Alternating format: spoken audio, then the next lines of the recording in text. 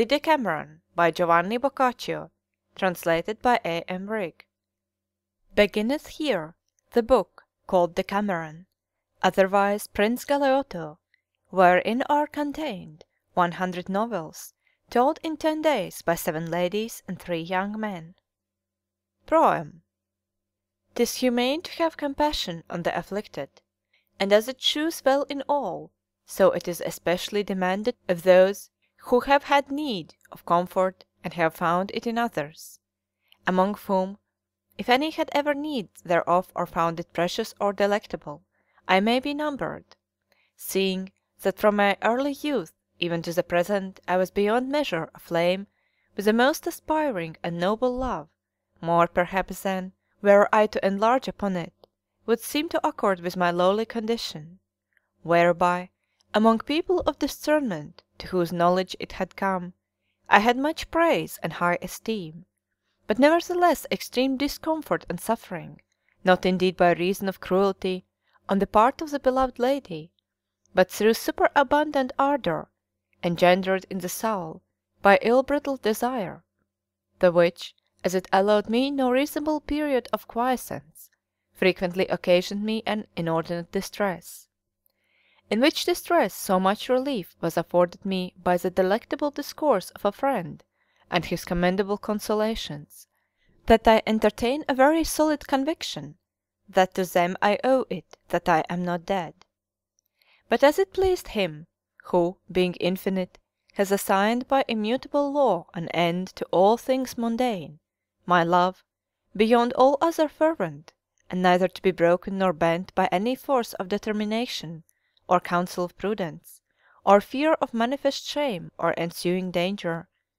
did nevertheless in course of time abate of its own accord,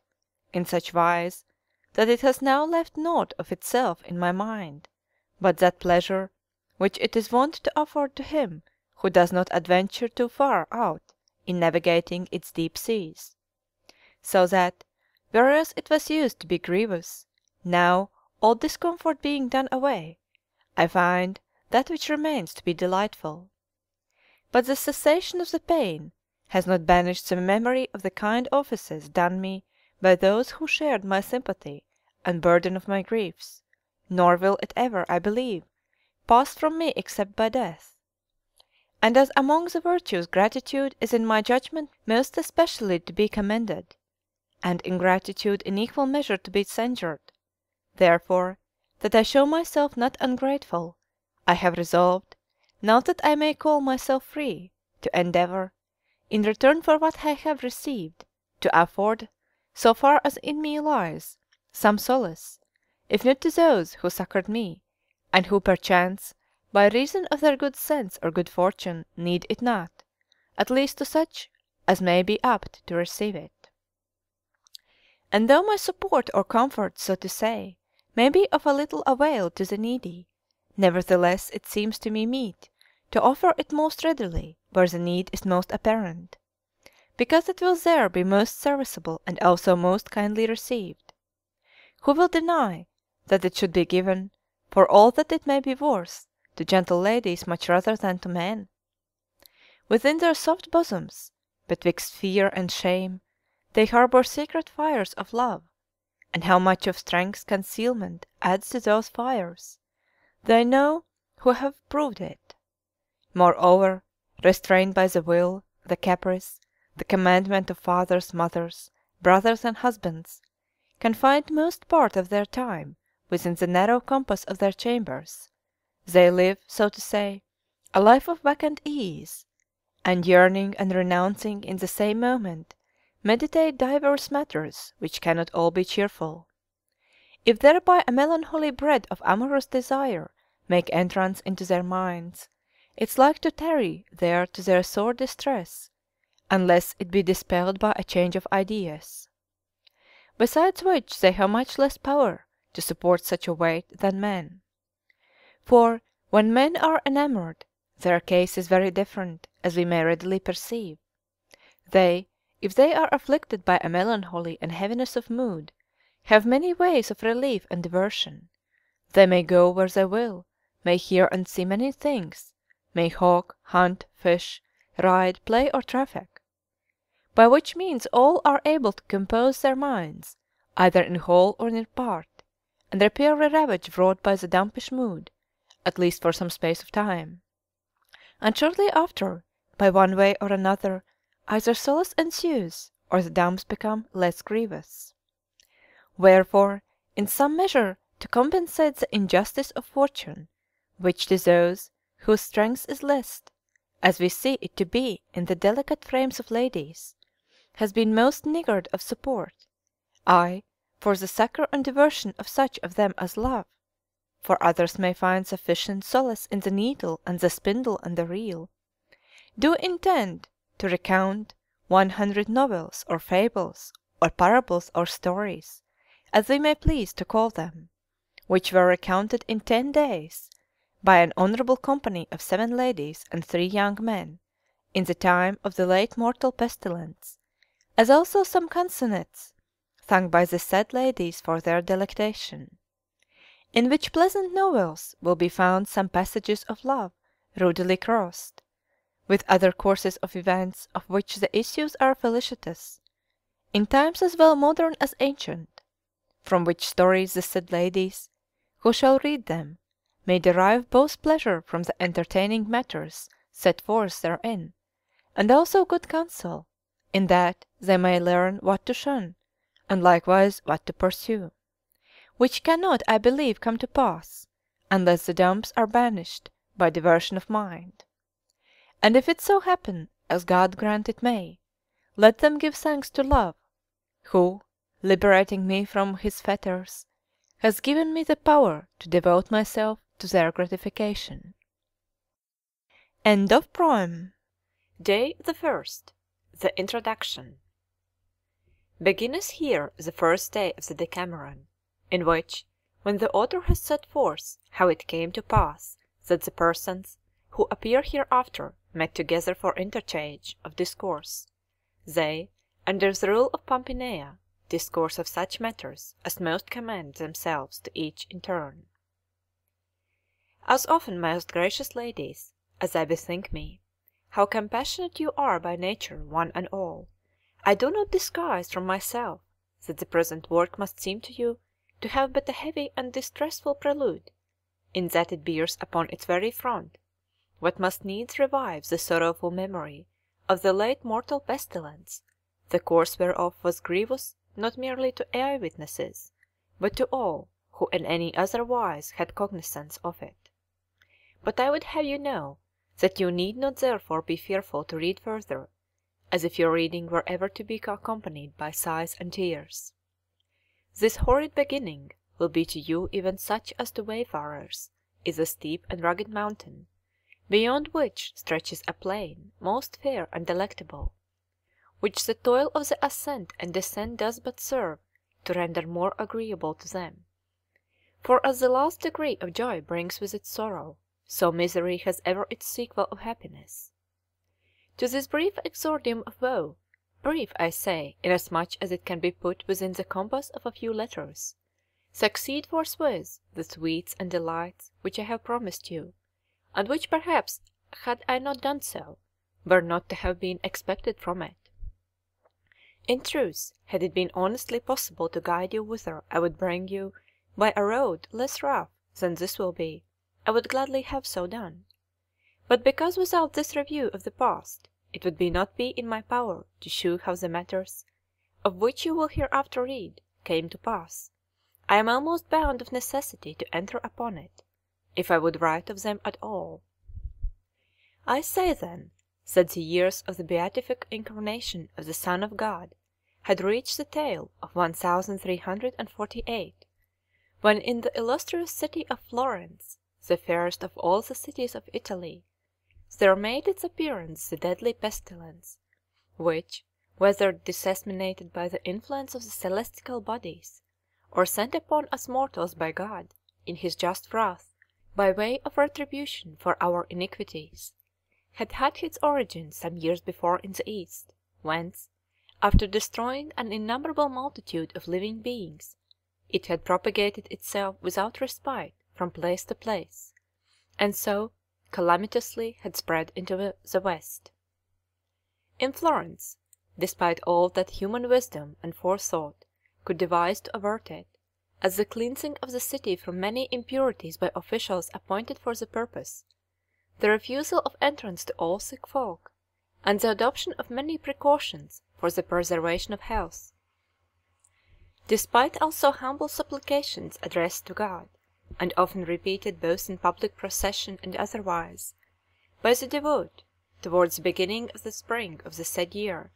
the doleful effects of the pestilence began to be horribly apparent by symptoms that shewed as if miraculous. Not such were they as in the East, where an issue of blood from the nose was a manifest sign of inevitable death; but in men and women alike it first betrayed itself by the emergence of certain tumours in the groin or the armpits, some of which grew as large as a common apple, others as an egg, some more, some less, which the common folk called gavoccioli. From the two said parts of the body this deadly gavoccioli soon began to propagate, and spread itself in all directions indifferently; after which the form of the malady began to change, black spots or livid making their appearance in many cases on the arm or the thigh or elsewhere, now few and large, now minute and numerous; and as the gavocciolo had been and still was an infallible token of approaching death, such also were these spots on whomsoever they shewed themselves. Which maladies seemed to set entirely at naught both the art of the physician and the virtues of physic; indeed, whether it was that the disorder was of a nature to defy such treatment, or that the physicians were at fault, besides the qualified there was now a multitude both of men and of women, who practised without having received the slightest tincture of medical science, and being in ignorance of its source, failed to apply the proper remedies; in either case, not merely were those that recovered few, but almost all within three days from the appearance of the said symptoms, sooner or later, died, and in most cases without any fever or other attendant malady. Moreover, the virulence of the pest was the greater by reason that intercourse was apt to convey it from the sick to the whole, just as fire devours things dry or greasy when they are brought close to it. Nay, the evil went yet further, for not merely by speech or association with the sick was the malady communicated to the healthy with consequent peril of common death,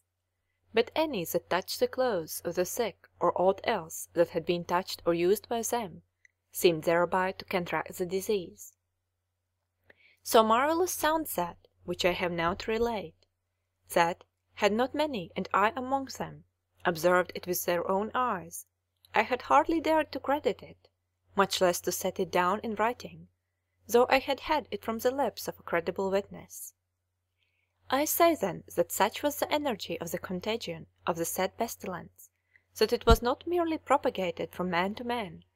but what is much more startling, it was frequently observed that things which had belonged to one sick or dead of the disease, if touched by some other living creature, not of the human species, were the occasion not merely of sickening but of an almost instantaneous death; whereof my own eyes, as I said a little before, had cognisance one day among others by the following experience. The rags of a poor man who had died of the disease being strewn about the open street, two hogs came thither, and after, as is their wont, no little trifling with their snouts, took the rags between their teeth, and tossed them to and fro about their chaps; whereupon almost immediately they gave a few turns, and fell down dead, as if by poison, upon the rags which in an evil hour they had disturbed. In which circumstances, not to speak of many others of a similar or even graver complexion, divers apprehensions and imaginations were engendered in the minds of such as were left alive, inclining almost all of them to the same harsh resolution, to wit, to shun and abhor all contact with the sick, and all that belonged to them, thinking thereby to make each his own health secure. Among whom there were those who thought that to live temperately and avoid all excess would count for much as a preservative against seizures of this kind; wherefore they banded together, and dissociating themselves from all others, formed communities in houses where there were no sick, and lived a separate and secluded life, which they regulated with the utmost care, avoiding every kind of luxury, but eating and drinking very moderately of the most delicate wines and the finest wines, holding converse with none but one another, lest tidings of sickness or death should reach them, and diverting their minds with music and such other delights as they could devise. Other, the bias of whose minds was in the opposite direction, maintained that to drink freely, frequent places of public resort, and take their pleasure with song and revel, sparing to satisfy no appetite, and to laugh and mock at no event, was the sovereign remedy for so great an evil; and that which they affirmed they also put in practice, so far as they were able, resorting day and night, now to this tavern, now to that drinking with an entire disregard of rule or measure, and by preference making the houses of others, as it were, their inns, if they but saw in them aught that was particularly to their taste or liking; which they were readily able to do, because the owners, seeing death imminent, had become as reckless of their property as of their lives,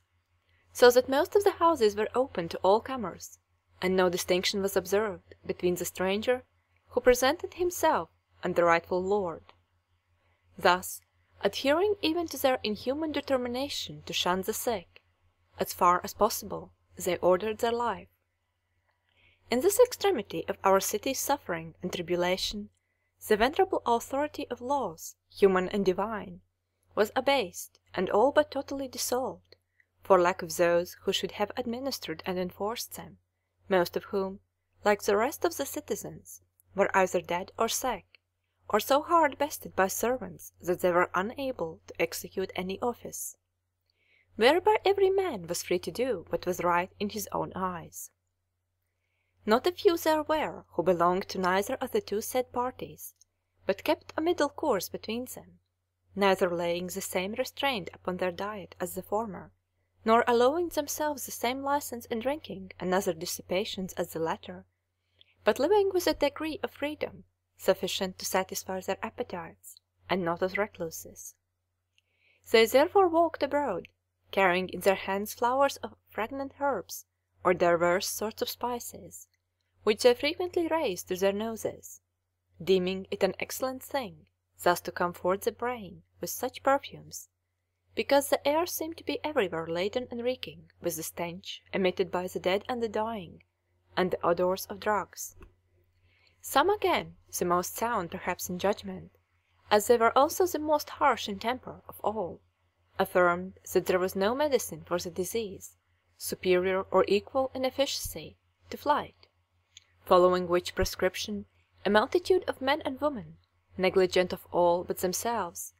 deserted their city, their houses, their estates, their kinsfolk, their goods, and went into voluntary exile or migrated to the country parts, as if God in visiting men with this pestilence in requital of their iniquities, would not pursue them with his wrath wherever they might be, but intended the destruction of such alone as remained within the circuit of the walls of the city, or deeming perchance that it was now time for all to flee from it, and that its last hour was come. Of the adherents of these diverse opinions not all died, neither did all escape, but rather there were, of each sort and in every place, many that sickened, and by those who retained their health were treated after the example which they themselves, while whole, had set, being everywhere left to languish in almost total neglect. Tedious were it to recount how to citizen avoided citizen, how among neighbours was scarce found any that shewed fellow feeling for another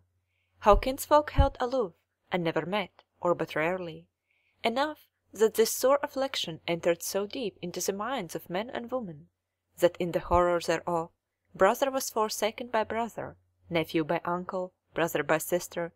and oftentimes husband by wife, nay, what is more, and scarcely to be believed, fathers and mothers were found to abandon their own children, untended and visited, to their fate, as if they had been strangers.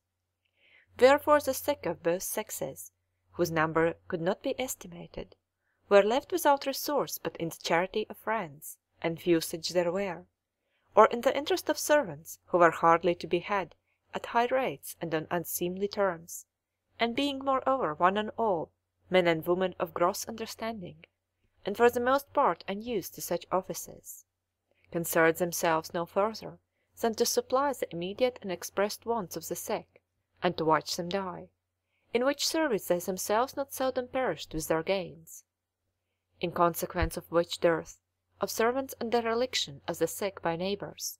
kinsfolk and friends, it came to pass, a thing perhaps never before heard of,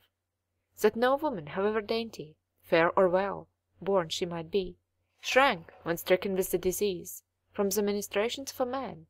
no matter whether he were young or no, or scrupled to expose to him every part of her body, with no more shame than if he had been a woman, submitting of necessity to that which her malady required, wherefrom perchance there resulted in after time some loss of modesty in such as recovered. Besides which many succumbed, who with proper attendance would perhaps have escaped death;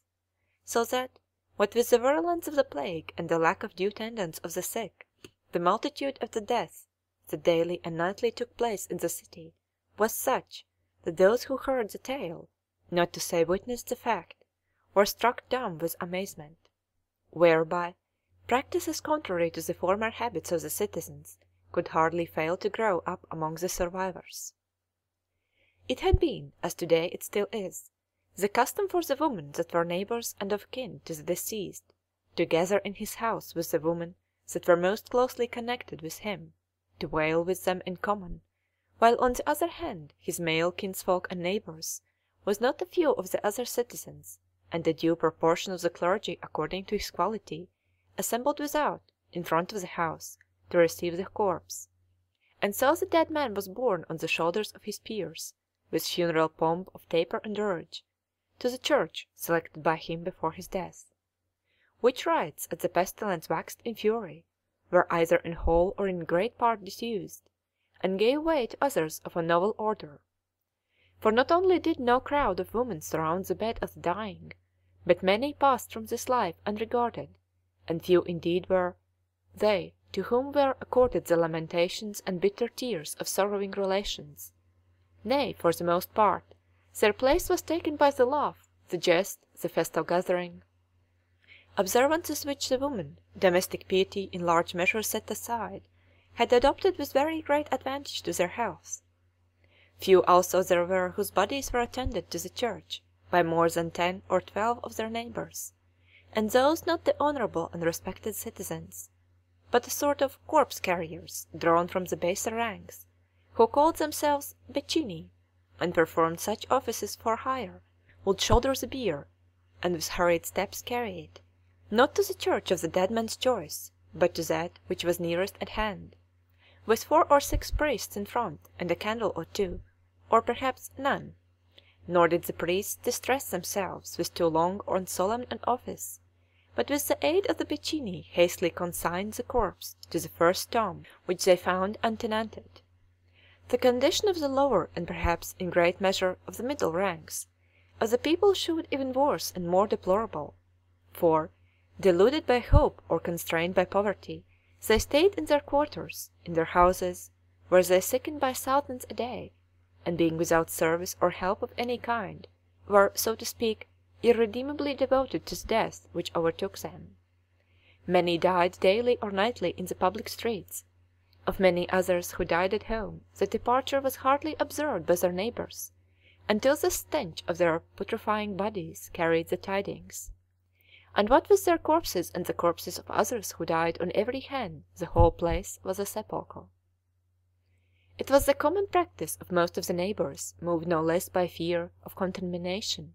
by the putrefying bodies than by charity towards the deceased, to drag the corpses out of the houses with their own hands, aided perhaps by a porter, if a porter was to be had, and to lay them in front of the doors, where any one who made the round might have seen, especially in the morning, more of them than he could count. Afterwards they would have biers brought up or in default planks whereupon they laid them; nor was it once or twice only that one and the same bier carried two or three corpses at once, but quite a considerable number of such cases occurred, one bier sufficing for husband and wife, two or three brothers, father and son, and so forth; and times without number it happened that, as two priests, bearing the cross, were on their way to perform the last office for some one, three or four biers were brought up by the porters in rear of them, so that, whereas the priests supposed that they had but one corpse to bury, they discovered that there were six or eight, or sometimes more. Nor, for all their number, were their obsequies honoured by either tears or lights or crowds of mourners. Rather it was come to this, that a dead man was then of no more account than a dead goat would be to day. From all which it is abundantly manifest, that that lesson of patient resignation which the sages were never able to learn from the slight and infrequent mishaps which occur in the natural course of events, was now brought home even to the minds of the simple by the magnitude of their disasters, so that they became indifferent to them. As consecrated ground there was not in extent sufficient to provide tombs for the vast multitude of corpses which day and night, and almost every hour, were brought in eager haste to the churches for interment, least of all, if ancient custom were to be observed and a separate resting place assigned to each. They dug for each graveyard, as soon as it was full, a huge trench, in which they laid the corpses as they arrived by hundreds at a time, piling them up as merchandise is stowed in the hold of a ship, tier upon tier, each covered with a little earth, until the trench could hold no more. But I spare to rehearse with minute particularity each of the woes that came upon our city, and say in brief that, harsh as was the tenor of her fortunes, the surrounding country knew no mitigation, for there, not to speak of the castles, each, as it were, a little city in itself, in sequestered village or on the open champaign, by the wayside, on the farm, in the homestead, the poor helpless husbandmen and their families, forlorn of physician's care or servant's tendance, perished day and night alike, not as men, but rather as beasts. Wherefore they too, like the citizens, abandoned all rule of life, all habit of industry, all counsel of prudence, nay, one and all, as if expecting each day to be their last, not merely ceased to aid nature to yield her fruit in due season, of their beasts and their lands and their past labours, but left no means unused which ingenuity could devise to waste their accumulated store denying shelter to their oxen, asses, sheep, goats, pigs, fowls, nay, even to their dogs, man's most faithful companions, and driving them out into the fields to roam at large amid the unsheaved, nay, unreaped corn; many of which, as if endowed with reason, took their fill during the day, and returned home at night without any guidance of herdsmen. But enough of the country. What need we add, but reverting to the city, that such and so grievous was the harshness of heaven, and perhaps in some degree of man, that, what with the fury of the pestilence, the panic of those whom it spared, and their consequent neglect or desertion of not a few of the stricken in their need, it is believed without any manner of doubt that between March and the ensuing July upwards of a hundred thousand human beings lost their lives within the walls of the city of Florence which before the deadly visitation would not have been supposed to contain so many people. How many grand palaces, how many stately homes, how many splendid residences, once full of retainers, of lords, of ladies, were now left desolate of all, even to the meanest servant! How many families of historic fame, of vast ancestral domains, and wealth proverbial, found now no scion to continue the succession! Now many brave men, how many fair ladies, how many gallant youths, whom any physician, were he Galen Hippocrates or Aesculapius himself, would have pronounced in the soundest of health, broke fast with their kinsfolk, comrades, and friends in the morning, and when evening came, supped with their forefathers in the other world. Irksome it is to myself to rehearse in detail so sorrowful a history; wherefore being minded to pass over so much thereof as I fairly can, I say that our city, being thus well nigh depopulated, it so happened, as I afterwards learned from one worthy of credit, that on a Tuesday morning after divine service the venerable church of Santa Maria Novella was almost deserted save for the presence of seven young ladies habited sadly in keeping with the season.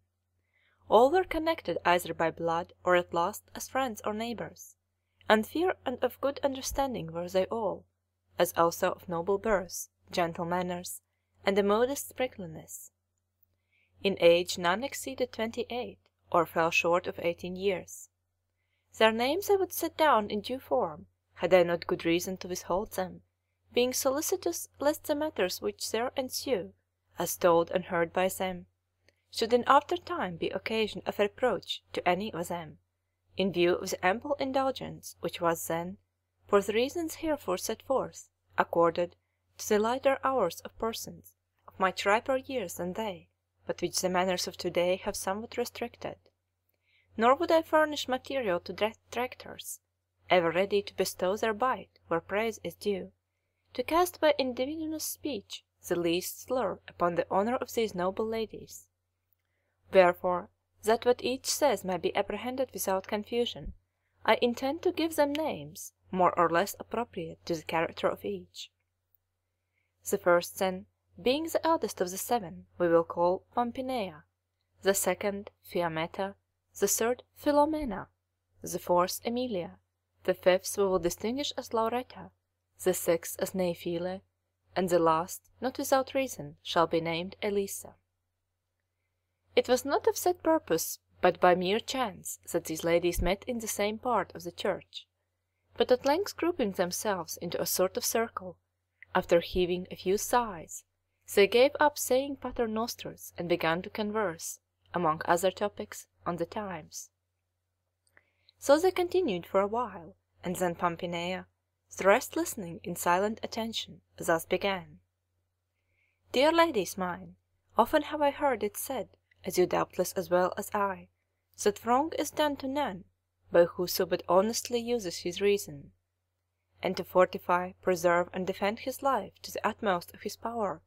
is the dictate of natural reason in every one that is born; which right is accorded in such measure that in defence thereof men have been held blameless in taking life. And if this be allowed by the laws, albeit on their stringency depends the well being of every mortal, how much more exempt from censure should we,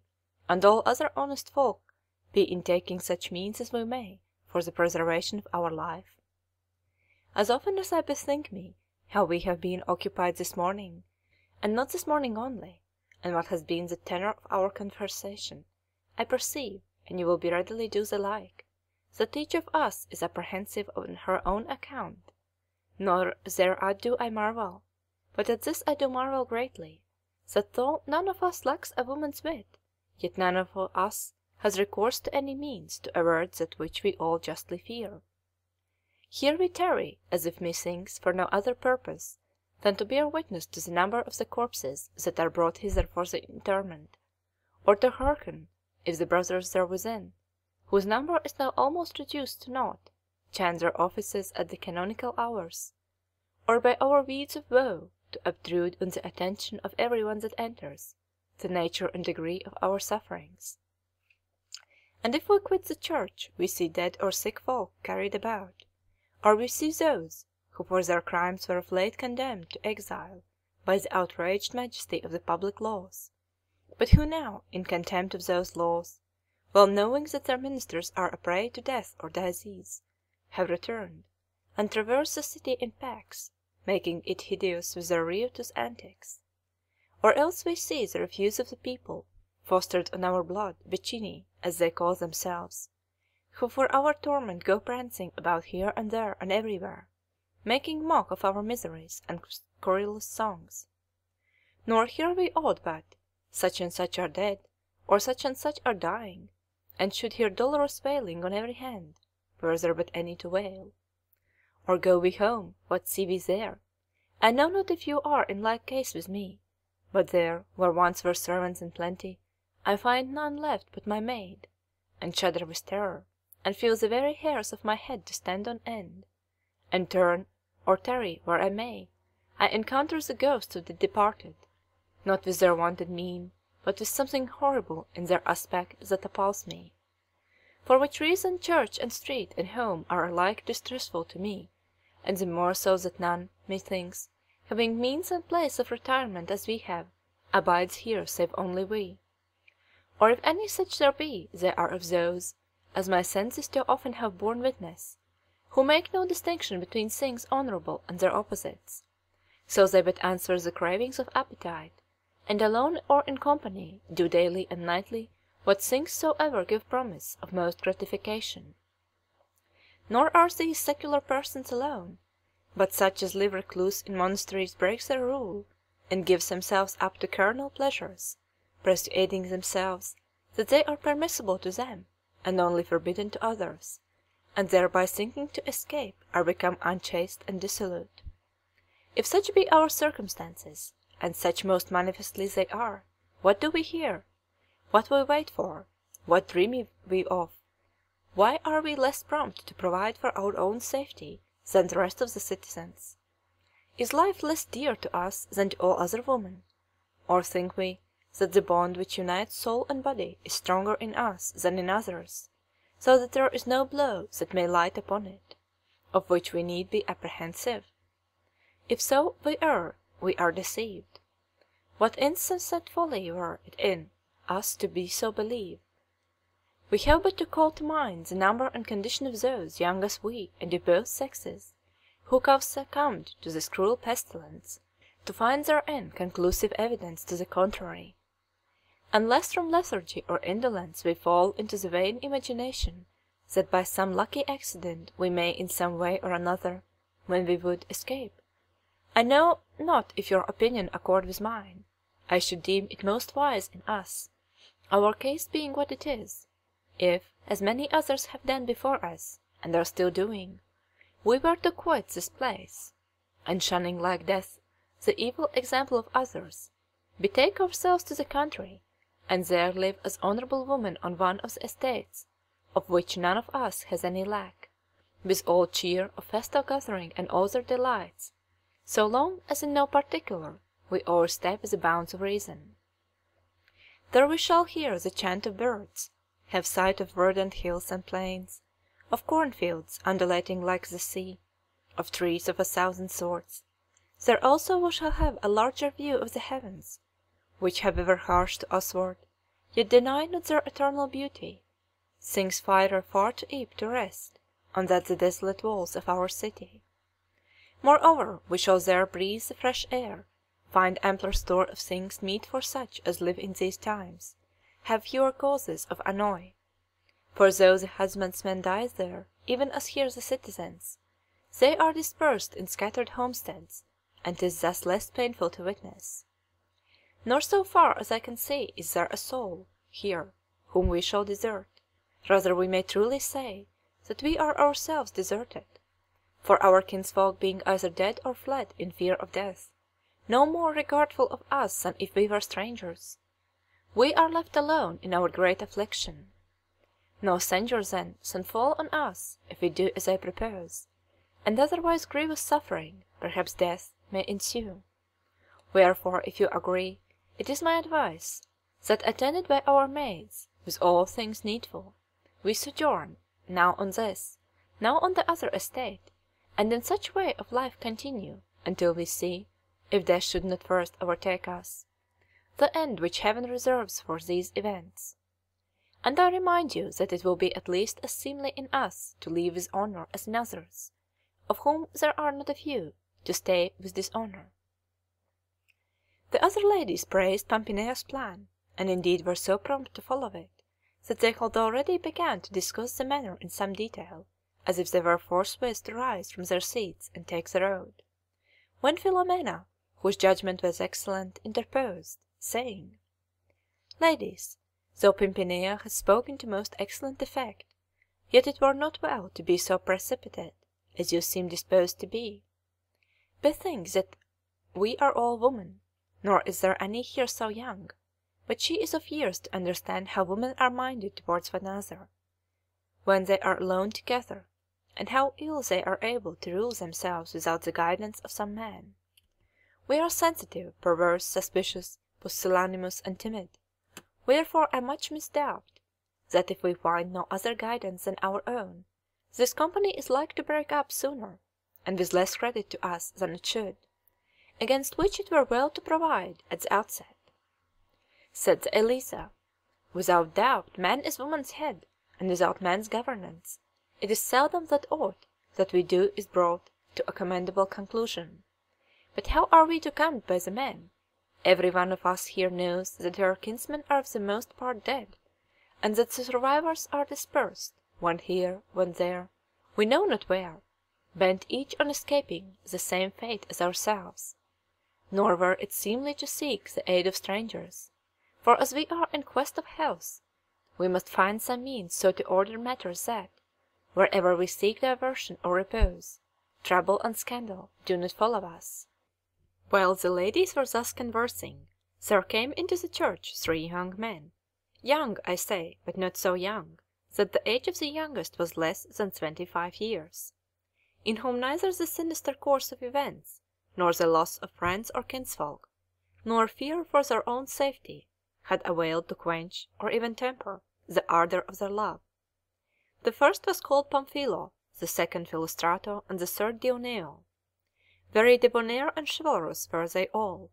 and in this troublous time they were seeking if haply, to their exceeding great solace, they might have sight of their fair friends, all three of whom chanced to be among the said seven ladies, besides some that were of kin to the young men. At one and the same moment they recognized the ladies and were recognized by them, wherefore with a gracious smile Pampinea thus began: "Lo! Fortune is propitious to our enterprise, having vouchsafed us the good offices of these young men, who are as gallant as they are discreet, and will gladly give us their guidance and escort, so we but take them into our service." Whereupon Neifile, crimson from brow to neck with the blush of modesty, being one of those that had a lover among the young men, said, "For God's sake, Pampinea, have a care what you say. Well assured am I that naught but good can be said of any of them, and I deem them fit for office far more honourous than this which you propose for them, and their good and honourable company worthy of ladies fairer by far and more tenderly to be cherished than such as we.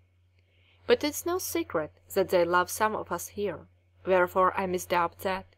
if we take them with us, we may thereby give occasion for scandal and censure merited neither by us nor by them. "That," said Filomena, "is of no consequence. So I but live honestly, my conscience gives me no disquietude. If others asperse me, God and the truth will take arms in my defence. Now, should they be disposed to attend us, of a truth we might say with Pampinea that fortune favours our enterprise." The silence which followed betokened consent on the part of the other ladies, who then with one accord resolved to call the young men, and acquaint them with their purpose, and pray them to be of their company. So without further parley, Pampinea, who had a kinsman among the young men, rose and approached them where they stood, intently regarding them; and greeting them gaily, she opened to them their plan, and besought them on the part of herself and her friends to join their company on terms of honourable and fraternal comradeship. At first the young men thought she did but trifle with them, but when they saw that she was in earnest, they answered with alacrity that they were ready, and promptly, even before they left the church, set matters in train for their departure. So all things meet being first sent forward in due order to their intended place of sojourn,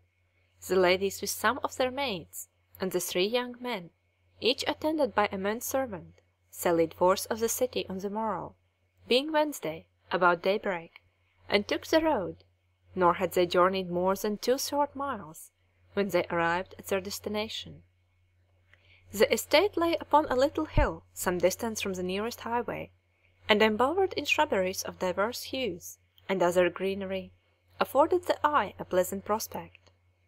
On the summit of the hill was a palace, with galleries, halls, and chambers, disposed around a fair and spacious court each very fair in itself, and the goodlier to see for the gladsome pictures with which it was adorned; the whole set amidst meads and gardens, laid out with marvellous art, wells of the coolest water, and vaults of the finest wines, things more suited to dainty drinkers than to sober and honourable women. On their arrival the company, to their no small delight, found their beds already made, the rooms well swept and garnished with flowers of every sort that the season could afford, and the floors carpeted with rushes. When they were seated, Dioneo, a gallant who had not his match for courtesy and wit, spoke thus: "My ladies, 'tis not our forethought so much as your own mother wit that has guided us hither. How you mean to dispose of your cares I know not; mine I left behind me within the city gate when I issued thence with you a brief while ago. Wherefore I pray you, either address yourselves to make merry, to laugh and sing with me, so far I mean as may consist with your dignity, or give me leave to hie me back to the stricken city, there to abide with my cares." To whom blithely Pampinea replied, as if she too had cast off all her cares: "Well sayest thou, Dioneo, excellently well. Gaily we mean to live; it was a refuge from sorrow that there we sought, nor had we other cause to come hither. But as no anarchy can long endure, I, who initiated the deliberations of which this fair company is the fruit, do now, to the end that our joy may be lasting, deem it expedient that there be one among us in chief authority, honoured and obeyed by us as our superior, whose exclusive care it shall be to devise how we may pass our time blithely; and that each in turn may prove the weight of the care, as well as enjoy the pleasure of sovereignty, and no distinction being made of sex, envy be felt by none by reason of exclusion from the office, I propose that the weight and honour be borne by each one for a day, and let the first to bear sway be chosen by us all, those that follow to be appointed towards the vesper hour by him or her who shall have had the signory for that day; and let each holder of the signory be, for the time sole arbiter of the place and manner in which we are to pass our time." Pampinea's speech was received with the utmost applause, and with one accord she was chosen queen for the first day. Whereupon Filomena hied her lightly to a bay tree, having often heard of the great honour in which its leaves, and such as were deservedly crowned therewith, were worthy to be holden; and having gathered a few sprays, she made thereof a goodly wreath of honour and set it on Pampinea's head, which wreath was thenceforth, while their company endured, the visible sign of the wearer's sway and sovereignty. No sooner was Queen Pompinia crowned than she bade all be silent. She then caused summon to her presence the four maids and the servants of the three young men, and all keeping silence said to them: "That I may shew you all at once how, while still giving place to better, our company may flourish and endure, as long as it shall pleasure us,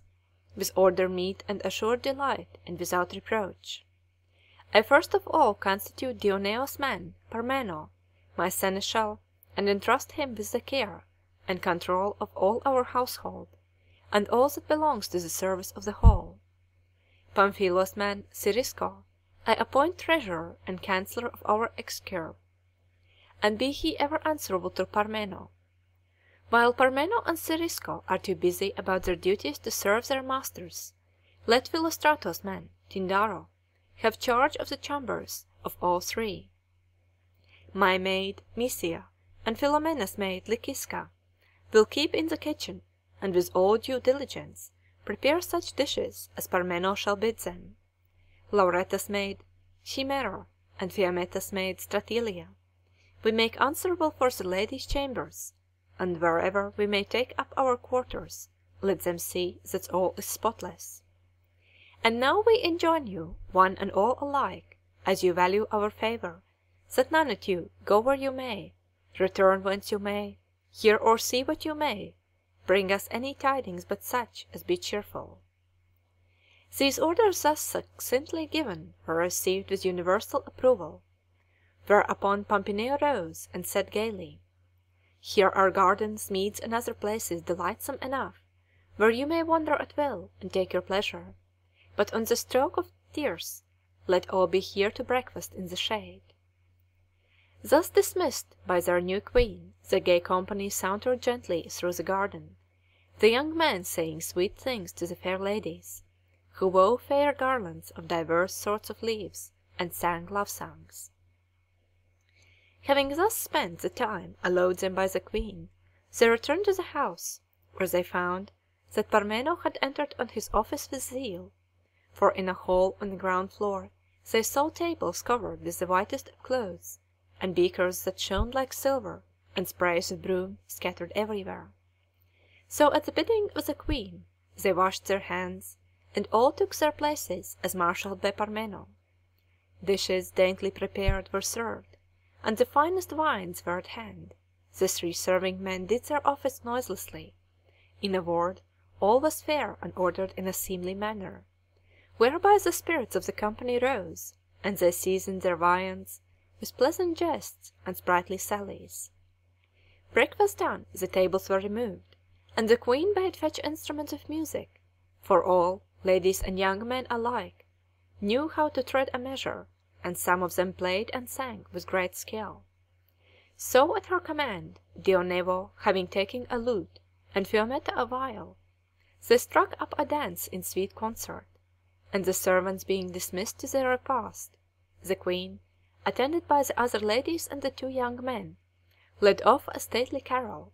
which ended they fell to singing ditties dainty and gay. Thus they diverted themselves until the queen, deeming it time to retire to rest, dismissed them all for the night. So the three young men and the ladies withdrew to their several quarters, which were in different parts of the palace. There they found the beds well made, and abundance of flowers as in the hall, and so they undressed and went to bed. Shortly after noon the queen rose, and roused the rest of the ladies, as also the young men, averring that it was injurious to the health to sleep long in the daytime. They therefore hied them to a meadow where the grass grew green and luxuriant, being nowhere scorched by the sun, and a light breeze gently fanned them. So at the queen's command they all ranged themselves in a circle on the grass, and hearkened while she thus spoke. You mark that the sun is high, the heat intense, and the silence unbroken, save by the cicalas among the olive trees. It were therefore the height of folly to quit this spot at present. Here the air is cool and the prospect fair, and here, observe, are dice and chess. Take then your pleasure as you may be severally minded; but if you take my advice, you will find pastime for the hot hours before us, not in play in which the loser must needs be vexed, and neither the winner nor the onlooker much be better pleased, but in telling of stories, in which the invention of one may afford solace to all the company of his hearers. You will not each have told a story before the sun will be low, and the heat abated, so that we shall be able to go and severally take our pleasure where it may seem best to each. Wherefore, if my proposal meet with your approval, for in this I am disposed to consult your pleasure, let us adopt it; if not, divert yourselves as you best you may, until the vesper hour." The queen's proposal being approved by all, ladies and men alike, she added: "So please you, then, I ordain, that for this first day we be free to discourse of such matters as most commend themselves to each in turn." She then addressed Pamphilo, who sat on her right hand bidding him with a gracious air to lead off with one of his stories; and prompt at the word of command, Pamphilo, while all listened intently, thus began: End of Introduction of the First Day The Decameron by Giovanni Boccaccio Translated by J. M. Rigg Day 1 The First Story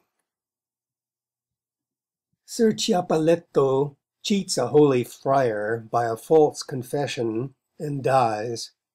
and having lived as a very bad man, is, on his death, reputed a saint, and called San Ciappelletto. A seemly thing it is, dearest ladies, that whatever we do, it be begun in the holy and awful name of Him who was the Maker of all. Wherefore, as it falls to me to lead the way in this your enterprise of story telling, I intend to begin with one of his wondrous works, that, by hearing thereof, our hopes in him, in whom is no change, may be established, and his name be by us for ever lauded. 'Tis manifest that as things temporal are all doomed to pass and perish, so within and without they abound with trouble and anguish and travail, and are subject to infinite perils. Nor, save for the especial grace of God, should we, whose being is bound up with and forms part of theirs, have either the strength to endure or the wisdom to combat their adverse influences. By which grace we are visited and penetrated, so we must believe, not by reason of any merit of our own, but solely out of the fullness of God's own goodness, and in answer to the prayers of those who, being mortal like ourselves, did faithfully observe his ordinances during their lives, and are now become blessed for ever with him in heaven. To whom, as to advocates taught by experience all that belongs to our frailty, we, not daring, perchance, to present our petitions in the presence of so great a judge, make known our requests for such things as we deem expedient for us. And of his mercy richly abounding to usward, we have further proof herein, that no keenness of mortal vision being able in any degree to penetrate the secret counsels of the divine mind, it sometimes, perchance, happens that in error of judgment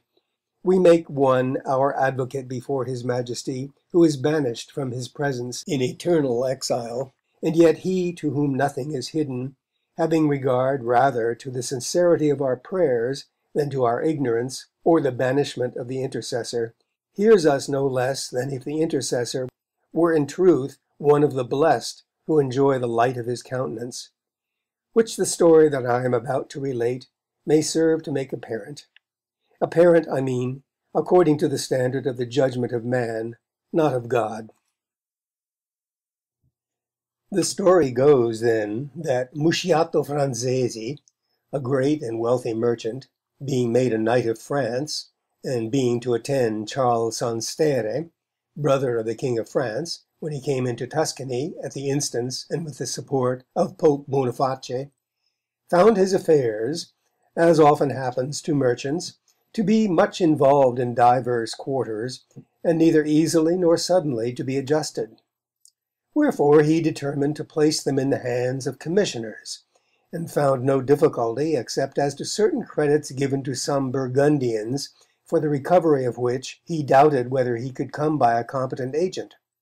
For well he knew that the Burgundians were violent men, and ill conditioned and faithless, nor could he call to mind any man so bad that he could with confidence oppose his guile to theirs.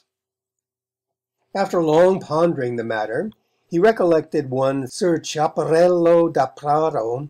who much frequented his house in Paris, who, being short of stature and very affected, the French who knew not the meaning of Cepparello, but supposed that it meant the same as Capello, that is, garland, in their vernacular, called him not Capello, but Ciappelletto, by reason of his diminutive size and as Ciappelletto he was known everywhere, whereas few people knew him as Cepparello. Now Ciappelletto's manner of life was thus. He was by profession a notary, and his pride was to make false documents. He would have made them as often as he was asked, and more readily without fee than another at a great price. Few, indeed, he made that were not false, and great was his shame when they were discovered. False witness he bore, solicited or unsolicited, with boundless delight, and as oaths were in those days had in very great respect in France, he, scrupling not to forswear himself, corruptly carried the day in every case in which he was summoned faithfully to attest the truth. He took inordinate delight, and bestirred himself with great zeal, in fomenting ill feeling enmities, dissensions between friends, kinsfolk, and all other folk. And the more calamitous were the consequences, the better he was pleased. Set him on murder or any other foul crime, and he never hesitated, but went about it with alacrity. He had been known on more than one occasion to inflict wounds or death by preference with his own hands. He was a profuse blasphemer of God and his saints, and that on the most trifling occasions, being of all men the most irascible. He was never seen at church, held all the sacraments vile things, and derided them in language of horrible ribaldry.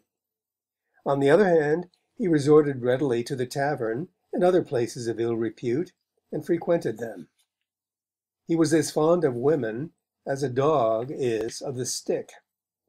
In the use against nature he had not his match among the most abandoned. He would have pilfered and stolen as a matter of conscience as a holy man would make an oblation. Most gluttonous he was, and inordinately fond of his cups, whereby he sometimes brought upon himself both shame and suffering. He was also a practised gamester and thrower of false dice. But why enlarge so much upon him? Enough that he was, perhaps, the worst man that ever was born. The rank and power of Musciato Franzesi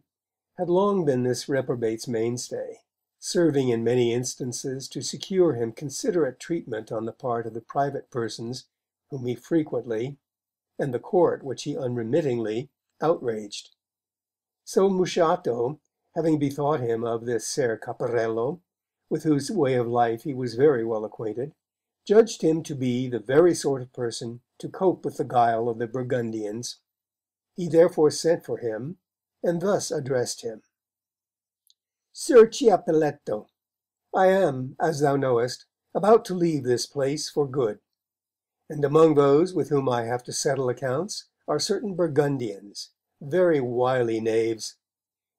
Nor know I the man whom I could more fitly entrust with the recovery of my money than thyself. Wherefore, as thou hast nothing to do at present, if thou wilt undertake this business, I will procure thee the favour of the court and give thee a reasonable part of what thou shalt recover. Ser Ciappelletto, being out of employment, and by no means in easy circumstances, and about to lose Musciato, so long his mainstay and support, without the least demur, for in truth he had hardly any choice, made his mind up and answered that he was ready to go. So the bargain was struck. Armed with the power of attorney and the royal letters commendatory, Ser Ciappelletto took leave of Messer Musciato and hied him to Burgundy, where he was hardly known to a soul. He set about the business which had brought him thither, the recovery of the money, in a manner amicable and considerate, foreign to his nature, as if he were minded to reserve his severity to the last. While thus occupied, he was frequently at the house of two Florentine usurers, who treated him with great distinction out of regard for Messer Musciato, and there it so happened that he fell sick. The two brothers forthwith placed physicians and servants in attendance upon him, and omitted no means meet and apt for the restoration of his health. But all remedies proved unavailing, for being now old, and having led, as the physicians reported, a disorderly life, he went daily from bad to worse, like one stricken with a mortal disease. This greatly disconcerted the two brothers, and one day, hard by the room in which Sir Ciappelletto lay sick, they began to talk about him, saying one to the other, What shall we do with this man? We are hard bested indeed on his account. If we turn him out of the house, sick as he is, we shall not only incur grave censure, but shall evince a signal want of sense for folk must know the welcome we gave him in the first instance, the solicitude with which we had him treated and tended since his illness, during which time he could not possibly do aught to displease us, and yet they would see him suddenly turned out of our house, sick unto death. On the other hand, he has been so bad a man that he is sure not to confess or receive any of the Church's sacraments, and dying thus unconfessed, he will be denied burial in church but will be cast out into some ditch like a dog. Nay, 'twill be all one, if he do confess, for such and so horrible have been his crimes, that no friar or priest either will or can absolve him, and so, dying without absolution, he will still be cast out into the ditch. In which case the folk of these parts, who reprobate our trade as iniquitous, and revile it all day long, and would fain rob us, will seize their opportunity, and raise a tumult, and make a raid upon our houses, crying, Away with these Lombard dogs whom the Church excludes from her pale! and will certainly strip us of our goods, and perhaps take our lives also. So that in any case we stand to lose if this man die. Ser Ciappelletto, who, as we said, lay close at hand while they thus spoke, and whose hearing was sharpened, as is often the case, by his malady, overheard all that they said about him. So he called them to him, and said to them, I would not have you disquiet yourselves in regard of me, or apprehend loss to befall you by my death. I have heard what you have said of me, and have no doubt that 'twould be as you say, if matters took the course you anticipate. But I am minded that it should be otherwise. I have committed so many offences against God in the course of my life, that one more in the hour of my death will make no difference whatever to the account. So seek out and bring hither the worthiest and most holy friar you can find, and leave me to settle your affairs and mine upon a sound and solid basis, with which you may rest satisfied.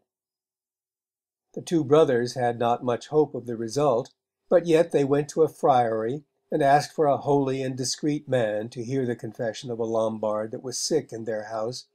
and returned with an aged man of just and holy life, very learned in the Scriptures, and venerable and held in very great and especial reverence by all the citizens. As soon as he had entered the room where Ser Ciappelletto was lying, and had taken his place by his side, he began gently to comfort him.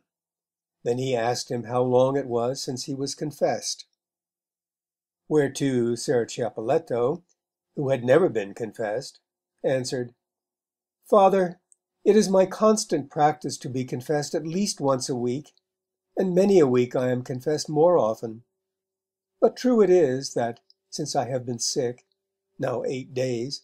I have made no confession, so sore has been my affliction. Son, said the friar, thou hast well done, and well for thee, if so thou continue to do. As thou dost confess so often, I see that my labour of hearkening and questioning will be slight. Nay, but, Master Friar, said Sir Ciappelletto, say not so. I have not confessed so often but that I would fain make a general confession of all my sins that I have committed, so far as I can recall them, from the day of my birth to the present time. And therefore I pray you, my good father, to question me precisely in every particular, just as if I had never been confessed. And spare me not by reason of my sickness, for I had far rather do despite to my flesh, than, sparing it, risk the perdition of my soul, which my Saviour redeemed with his precious blood. The holy man was mightily delighted with these words, which seemed to him to betoken a soul in a state of grace. He therefore signified to Ser Ciappelletto his high approval of this practice, and then began by asking him whether he had ever sinned carnally with a woman. Whereto Ser Ciappelletto answered with a sigh, My father, I scruple to tell you the truth in this matter, fearing lest I sin in vainglory. Nay, but, said the friar, speak boldly. None ever sinned by telling the truth, either in confession or otherwise. Then, said Sir Ciappelletto, as you bid me speak boldly, I will tell you the truth of this matter. I am virgin, even as when I issued from my mother's womb. Now God's blessing on thee, said the friar, well done! And the greater is thy merit in that, hadst thou so willed, thou mightest have done otherwise far more readily than we who are under constraint of rule. He then proceeded to ask whether he had offended God by gluttony, whereto Ser Ciappelletto, heaving a heavy sigh, answered that he had frequently so offended, for, being wont to fast not only in Lent, like other devout persons, but at least three days in every week, taking nothing but bread and water, he had quaffed the water with as good a gusto and as much enjoyment, more particularly when fatigued by devotion or pilgrimage, as great drinkers quaff their wine. And oftentimes he had felt a craving for such dainty dishes of herbs as ladies make when they go into the country. And now and again he had relished his food more than seemed to him meet in one who fasted, as he did, for devotion. Son, said the friar, these sins are natural and very trifling, and therefore I would not have thee burden thy conscience too much with them. There is no man, however holy he may be, but must sometimes find it pleasant to eat after a long fast, and to drink after exertion. Oh, my father, said Ser Ciappelletto, say not this to comfort me. You well know that I know that the things which are done in the service of God ought to be done in perfect purity of an unsullied spirit, and whoever does otherwise sins. The friar, well content, replied, Glad I am that thou dost think so, and I am mightily pleased with thy pure and good conscience, which therein appears. But tell me, hast thou sinned by avarice, coveting more than was reasonable, or withholding more than was right? My father, replied Ser Ciappelletto, I would not have you disquiet yourself, because I am in the house of these usurers. No part have I in their concerns. Nay, I did not come here to admonish and reprehend them, and wean them from this abominable traffic. And so, I believe, I had done, had not God sent me this visitation. But you must know that my father left me a fortune, of which I dedicated the greater part to God, and since then, for my own support and the relief of Christ's poor, I have done a little trading, whereof I had desired to make gain, and all that I have gotten I have shared with God's poor, reserving one half for my own needs, and giving the other half to them. And so well has my Maker prospered me, that I have ever managed my affairs to better and better account. Well done, said the friar, but how hast thou often given way to anger? Often indeed, I assure you, said Ser Ciappelletto, and who could refrain therefrom, seeing men doing frowardly all day long, breaking the commandments of God, and recking naught of his judgments? Many a time in the course of a single day, I had rather be dead than alive, to see the young men going after vanity, swearing and forswearing themselves, haunting taverns, avoiding the churches, and in short, walking in the way of the world rather than in God's way. My son, said the friar, this is a righteous wrath, nor could I find occasion therein to lay a penance upon thee. But did anger ever by any chance betray thee into taking human life, or affronting or otherwise wronging any? Alas, replied Sir Ciappelletto, alas, sir, man of God though you seem to be, how come you to speak after this manner? If I had had so much as the least thought of doing any of the things of which you speak, should I believe, think you, that I had been thus supported of God? These are the deeds of robbers and such like evil men, to whom I have ever said, when any I saw, Go, God change your heart. Said then the friar, Now, my son, as thou hopest to be blessed of God, tell me, hast thou never borne false witness against any, or spoken evil of another, or taken the goods of another without his leave? Yes, Master Friar, answered Ser Ciappelletto, most true it is that I have spoken evil of another. For I once had a neighbour who, without the least excuse in the world, was ever beating his wife, and so great was my pity of the poor creature, whom, when he was in his cups, he would thrash as God alone knows how. Once I spoke evil of him to his wife's kinsfolk. Well, well, said the friar, thou tellest me thou hast been a merchant, hast thou ever cheated any, as merchants used to do? I' faith, yes, master friar, said Ser Ciappelletto, but I know not who he was, only that he brought me some money which he owed me for some cloth that I had sold him, and I put it in a box without counting it, where a month afterwards I found four farthings more than there should have been, which I kept for a year to return to him, but not seeing him again, I bestowed them in alms for the love of God. This, said the friar, was a small matter, and thou didst well to bestow them as thou didst. The holy friar went on to ask him many other questions, to which he made answer in each case in this sort. Then, as the friar was about to give him absolution, Sir Ciappelletto interposed. Sir, I have yet a sin to confess. What? asked the friar. I remember, he said, I once caused my servant to sweep my house on a Saturday afternoon, and that my observance of Sunday was less devout than it should have been. Oh, my son, said the friar, this is a light matter. No, said Ser Ciappelletto, say not a light matter, for Sunday is the more to be had in honour, because on that day our Lord rose from the dead. Then said the holy friar,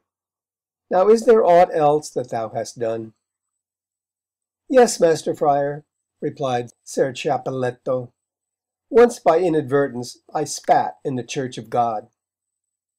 At this the friar began to smile, and said, My son, this is not a matter to trouble about.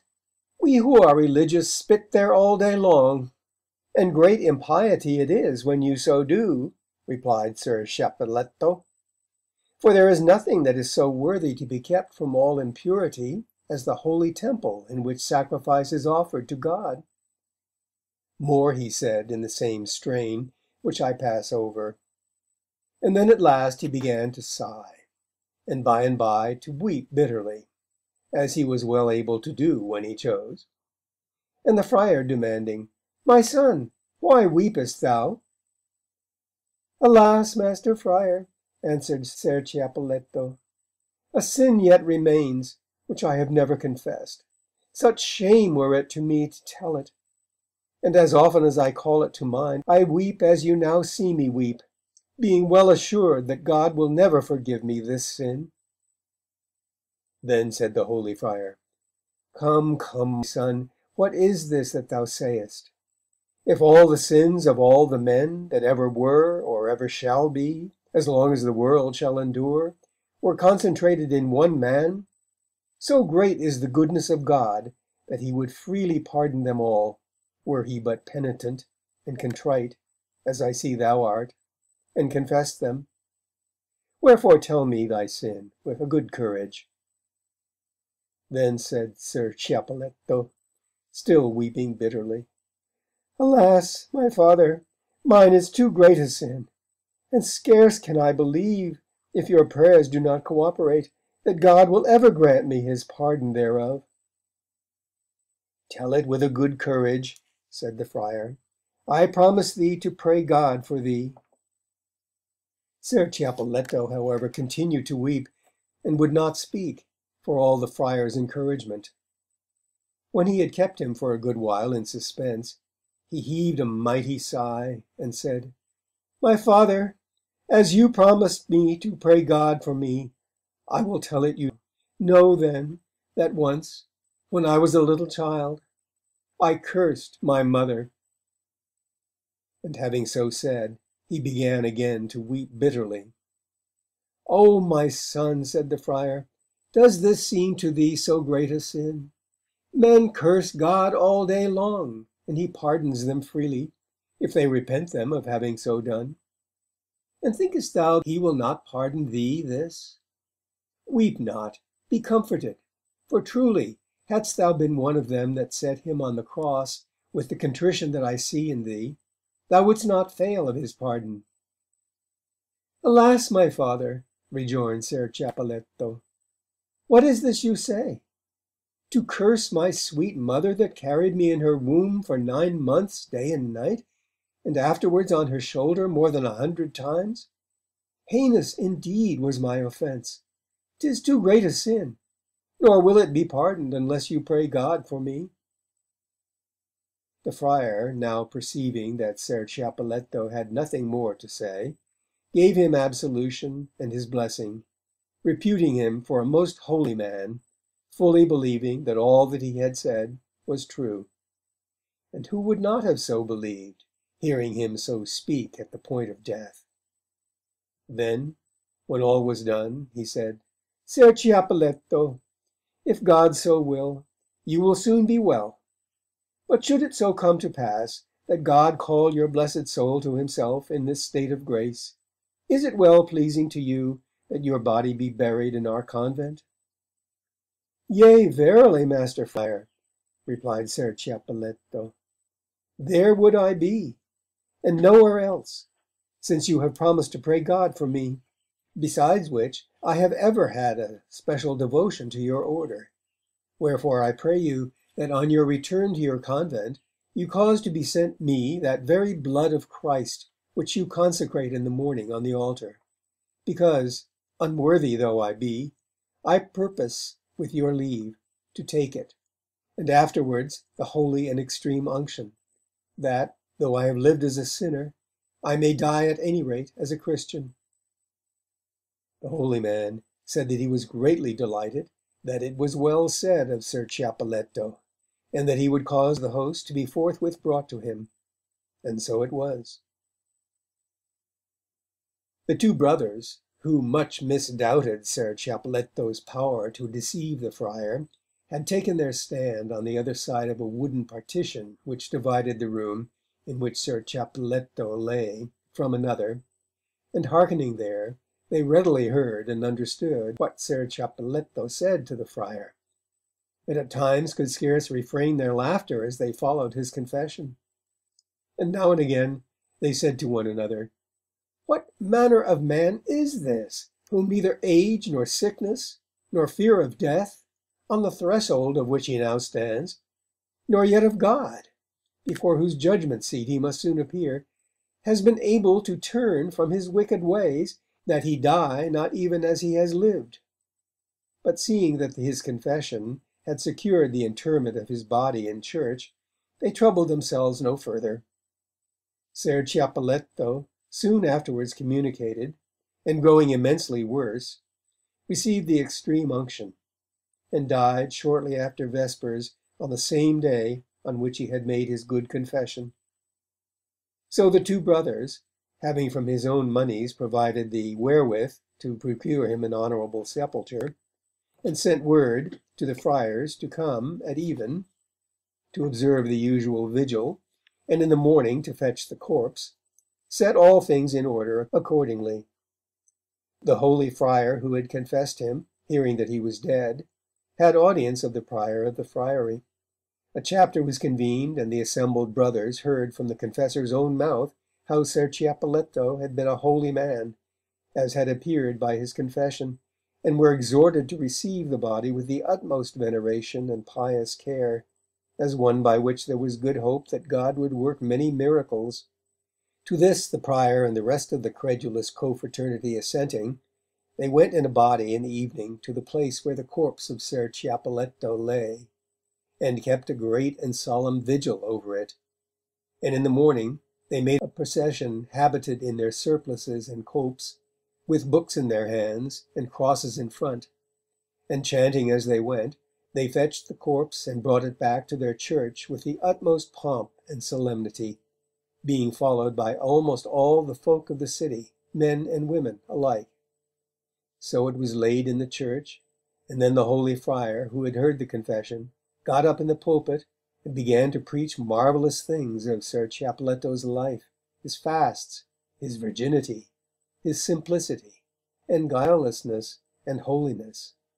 narrating among other matters that of which Ser Ciappelletto had made tearful confession as his greatest sin and how he had hardly been able to make him conceive that God would pardon him. From which he took occasion to reprove his hearers, saying, And you, accursed of God, on the least pretext blaspheme God and his mother, and all the celestial court. And much beside he told of his loyalty and purity, and in short, so wrought upon the people by his words, to which they gave entire credence, that they all conceived a great veneration for Ser Ciappelletto, and at the close of the office came pressing forward with the utmost vehemence to kiss the feet and the hands of the corpse, from which they tore off all the cerements, each thinking himself blessed to have but a scrap thereof in his possession. And so it was arranged that it should be kept there all day long, so as to be visible and accessible to all.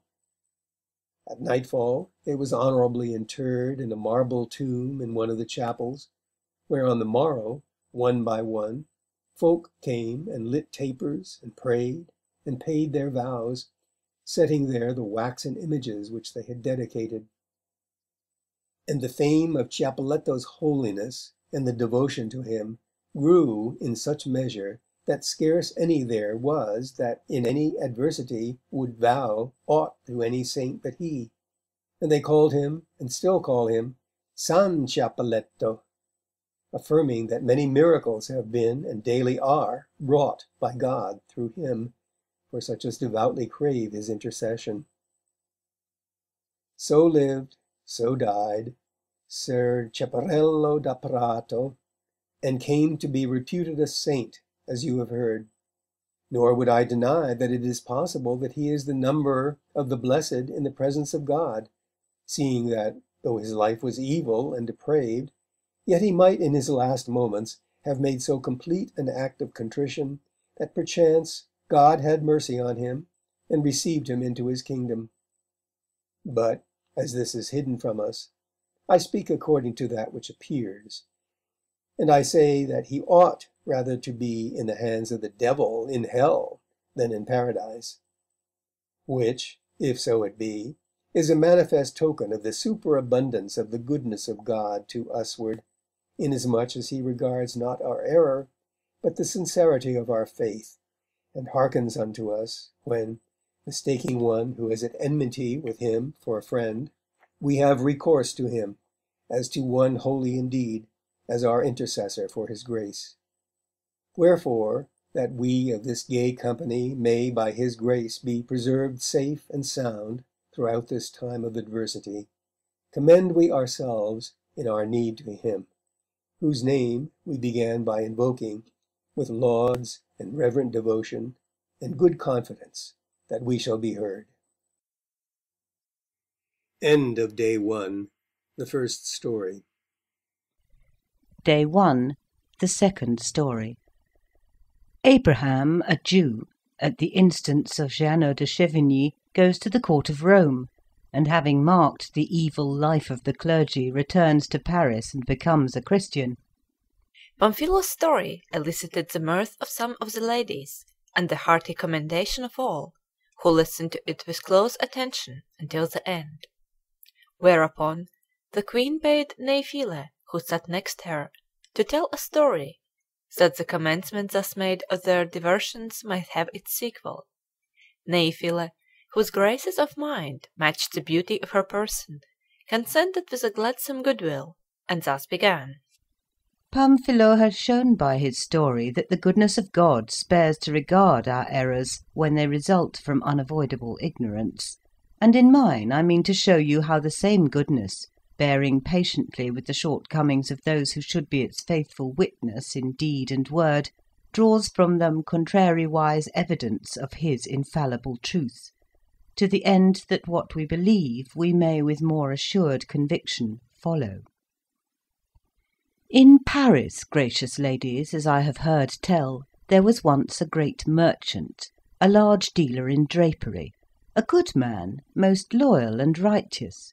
his name Jeannot de Chevigny, between whom and a Jew, Abraham by name, also a merchant, and a man of great wealth, as also most loyal and righteous,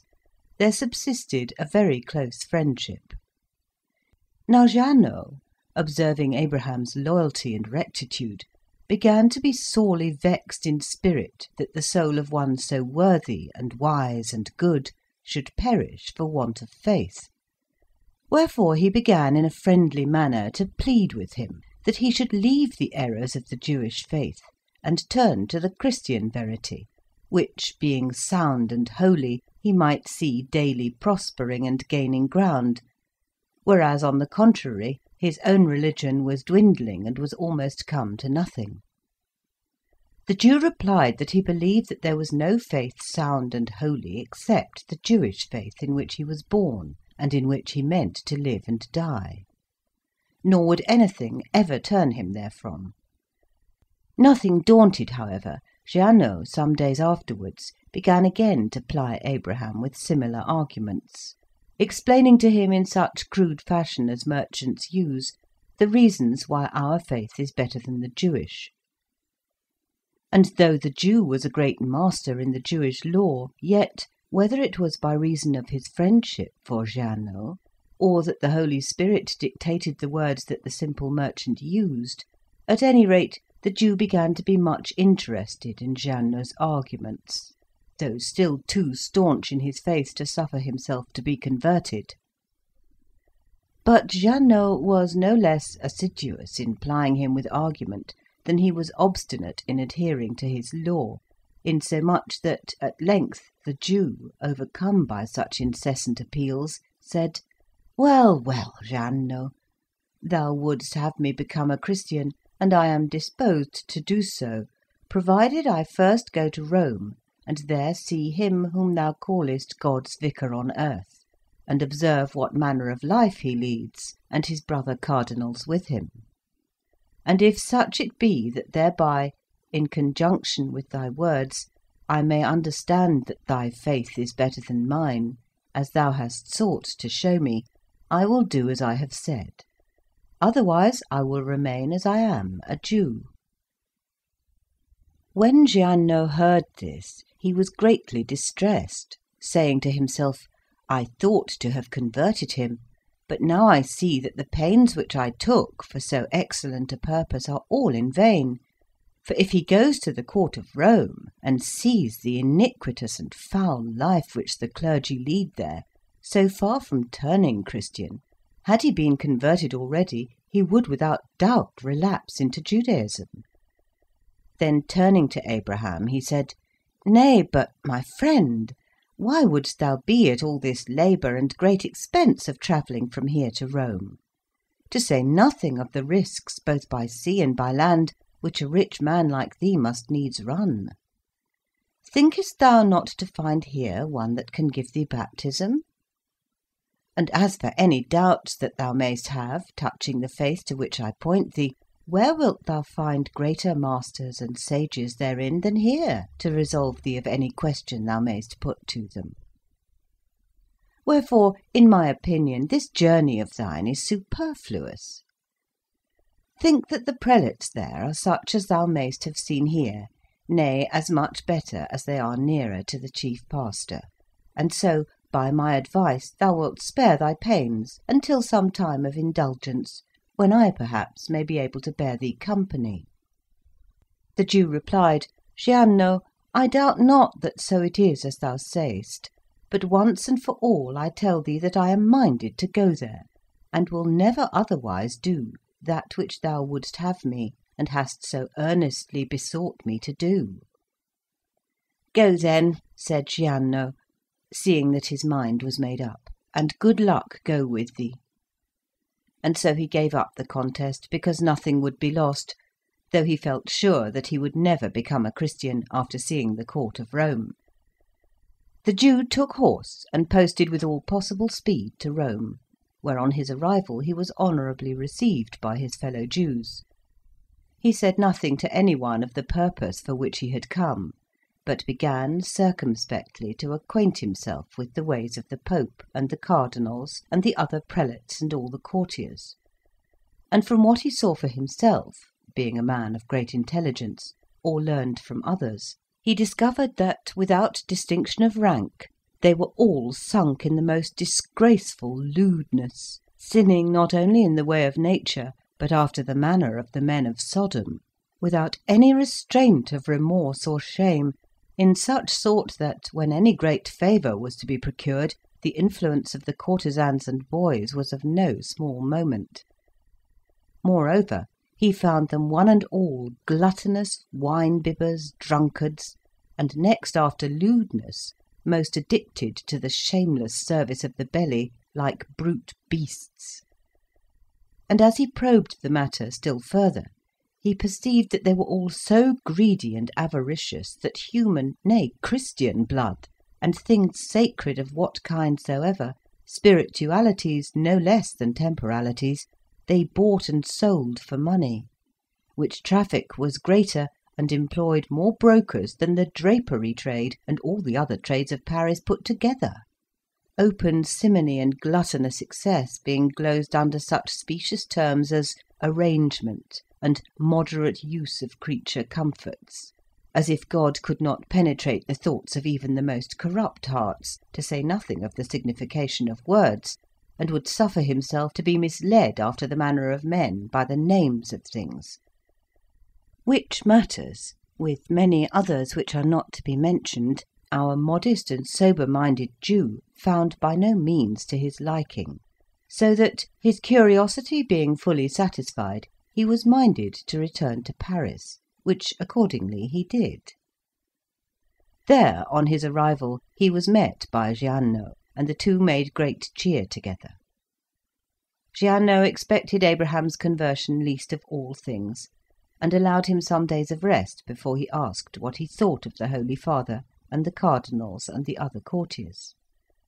To which the Jew forthwith replied, I think God owes them all an evil recompense. I tell thee, so far as I was able to carry my investigations, holiness, devotion, good works, or exemplary living in any kind was nowhere to be found in any clerk, but only lewdness, avarice, gluttony, and the like, and worse, if worse may be, appeared to be held in such honour of all, that, to my thinking, the place is a centre of diabolical rather than of divine activities. To the best of my judgment, your pastor, and by consequence all that are about him, devote all their zeal and ingenuity and subtlety to devise how best and most speedily they may bring the Christian religion to naught and banish it from the world, and because I see that what they so zealously endeavour does not come to pass, but that, on the contrary, your religion continually grows, and shines more and more clear, therein I seem to discern a very evident token that it, rather than any other, as being more true and holy than any other, has the Holy Spirit for its foundation and support. For which cause Whereas I met your exhortations in a harsh and obdurate temper, and would not become a Christian, now I frankly tell you that I would on no account omit to become such. Go we then to the church, and there, according to the traditional rite of your holy faith, let me receive baptism. Jehanneau, who had anticipated a diametrically opposite conclusion, as soon as he heard him so speak, was the best pleased man that ever was in the world. So taking Abraham with him to Notre Dame, prayed the clergy there to baptize him. When they heard that it was his own wish, they forthwith did so, and Jehanneau raised him from the sacred font and named him Jean. And afterwards he caused teachers of great eminence thoroughly to instruct him in our faith, which he readily learned, and afterwards practised in a good, a virtuous, nay, a holy life. End of Day One, the second story. Day One, the third story. Melchisedec, a Jew, by a story of three rings, averts a great danger with which he was menaced by Saladin. When Neifile had brought her story to a close, amid the commendations of all the company, Filomena, at the queen's behest, thus began: The story told by Neifile brings to my mind another in which also a Jew appears, but this time as the hero of a perilous adventure; and as enough has been said of God and of the truth of our faith, it will not now be inopportune if we descend to mundane events and the actions of men. Wherefore I propose to tell you a story which will perhaps dispose you to be more circumspect than you have been wont to be in answering questions addressed to you. Well you know, or should know, loving gossips, that, as it often happens that folk by their own folly forfeit a happy estate and are plunged in most grievous misery, so good sense will extricate the wise from extremity of peril, and establish them in complete and assured peace. Of the change from good to evil fortune, which folly may effect, instances abound; indeed, occurring as they do by the thousand day by day, they are so conspicuous, that their recital would be beside our present purpose. But that good sense may be our succour in misfortune, I will now, as I promised, make plain to you within the narrow compass of a little story. Saladin, who by his great valour had from small beginnings made himself Sultan of Egypt, and gained many victories over kings both Christian and Saracen, having in divers wars and by divers lavish displays of magnificence spent all his treasure, and in order to meet a certain emergency being in need of a large sum of money, and being at a loss to raise it with a celerity adequate to his necessity, bethought him of a wealthy Jew, Melchisedec by name, who lent at usance in Alexandria, and who, were he but willing, was, as he believed, able to accommodate him, but was so miserly that he would never do so of his own accord, nor was Saladin disposed to constrain him thereto. So great, however, was his necessity, that after pondering every method whereby the Jew might be induced to be compliant, at last he determined to devise a tolerably reasonable pretext for extorting the money from him. So he sent for him, received him affably, seated him by his side, and presently said to him, My good man, I have heard from many people that thou art very wise, and of great discernment in divine things, wherefore I would gladly know of thee, which of the three laws thou reputest the true law the law of the Jews, the law of the Saracens, or the law of the Christians?" The Jew, who was indeed a wise man, saw plainly enough that Saladin meant to entangle him in his speech, that he might have occasion to harass him, and bethought him that he could not praise any of the three laws above another without furnishing Saladin with the pretext which he sought.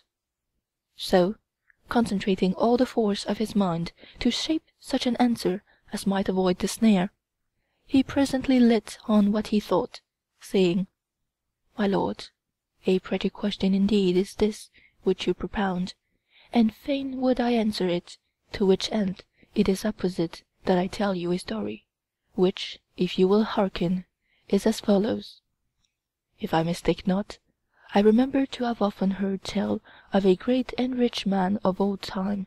who, among other most precious jewels had in his treasury a ring of extraordinary beauty and value, which by reason of its value and beauty he was minded to leave to his heirs for ever, for which cause he ordained that whichever of his sons was found in possession of the ring as by his bequest should thereby be designated his heir, and be entitled to receive from the rest the honour and homage due to a superior. The son, to whom he bequeathed the ring, left it in like manner to his descendants, making the like ordinance as his predecessor. In short, the ring passed from hand to hand for many generations, and in the end came to the hands of one who had three sons, goodly and virtuous all, and very obedient to their father, so that he loved them all indifferently. The rule touching the descent of the ring was known to the young men, and each aspiring to hold the place of honor among them, did all he could to persuade his father, who was now old, to leave the ring to him at his death. The worthy man, who loved them all equally, and knew not how to choose from among them a sole legatee, promised the ring to each in turn, and in order to satisfy all three, caused a cunning artificer secretly to make other two rings, so like the first that the maker himself could hardly tell which was the true ring. So before he died he disposed of the rings, giving one privily to each of his sons, whereby it came to pass that after his decease each of the sons claimed the inheritance and the place of honor, and his claim being disputed by his brothers produced his ring in witness of right, and the rings being found so like one to another that it was impossible to distinguish the true one, the suit to determine the true heir remained pendent, and still so remains. And so, my lord, to your question touching the three laws given to the three peoples by God the Father, I answer, each of these peoples deems itself to have the true inheritance, the true law, the true commandments of God. But which of them is justified in so believing is a question which, like that of the rings, remains pendent. The excellent adroitness with which the Jew had contrived to evade the snare which he had laid for his feet was not lost upon Saladin. He therefore determined to let the Jew know his need, and did so, telling him at the same time what he had intended to do, in the event of his answering less circumspectly than he had done.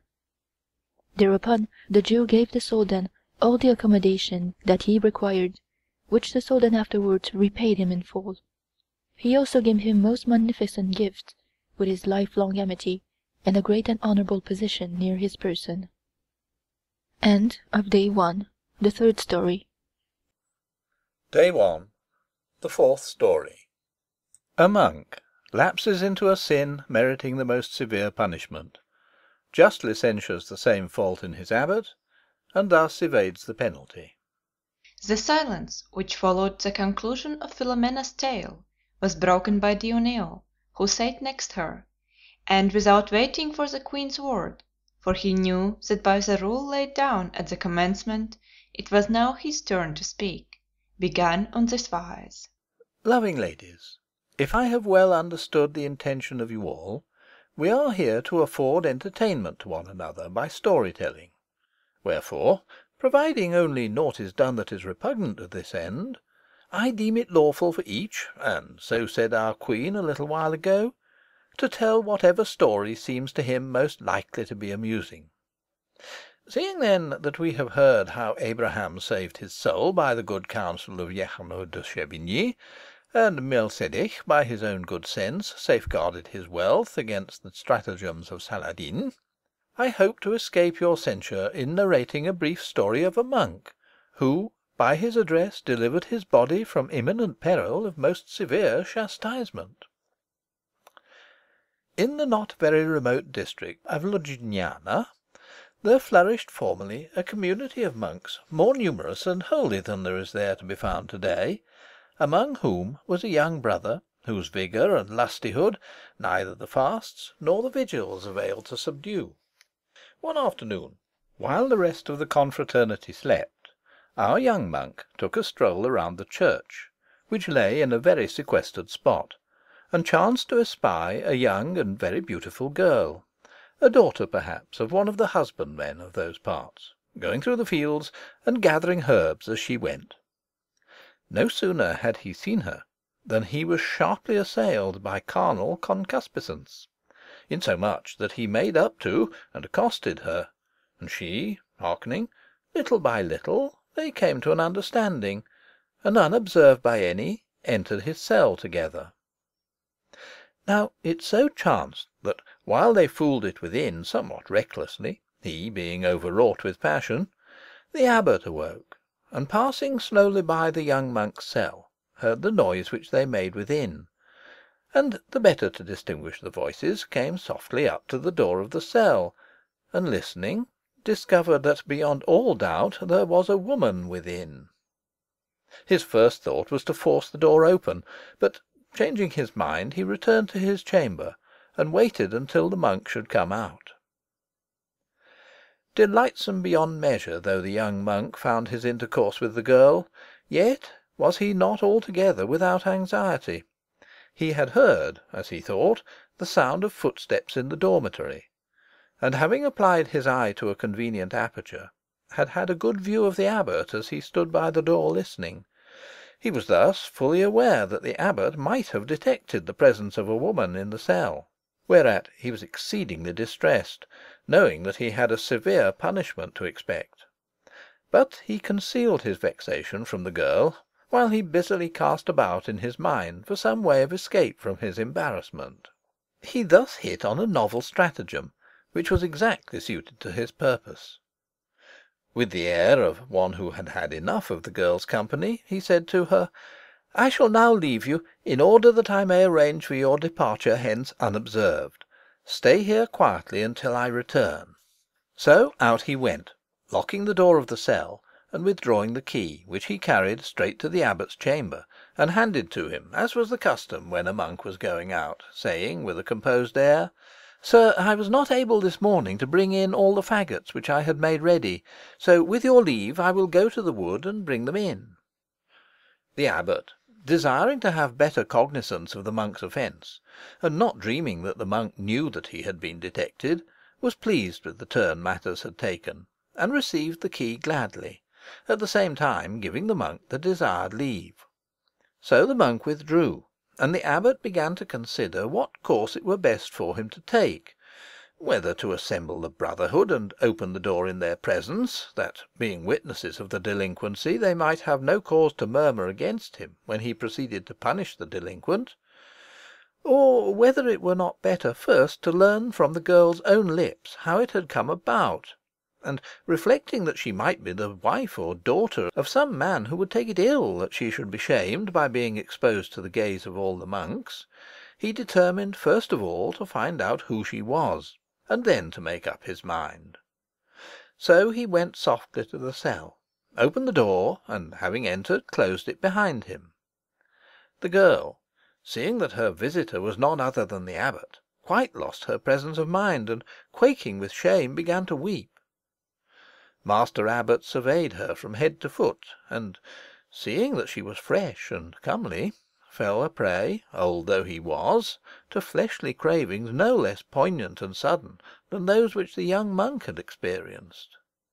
and began thus to commune with himself: "Alas! why take I not my pleasure when I may,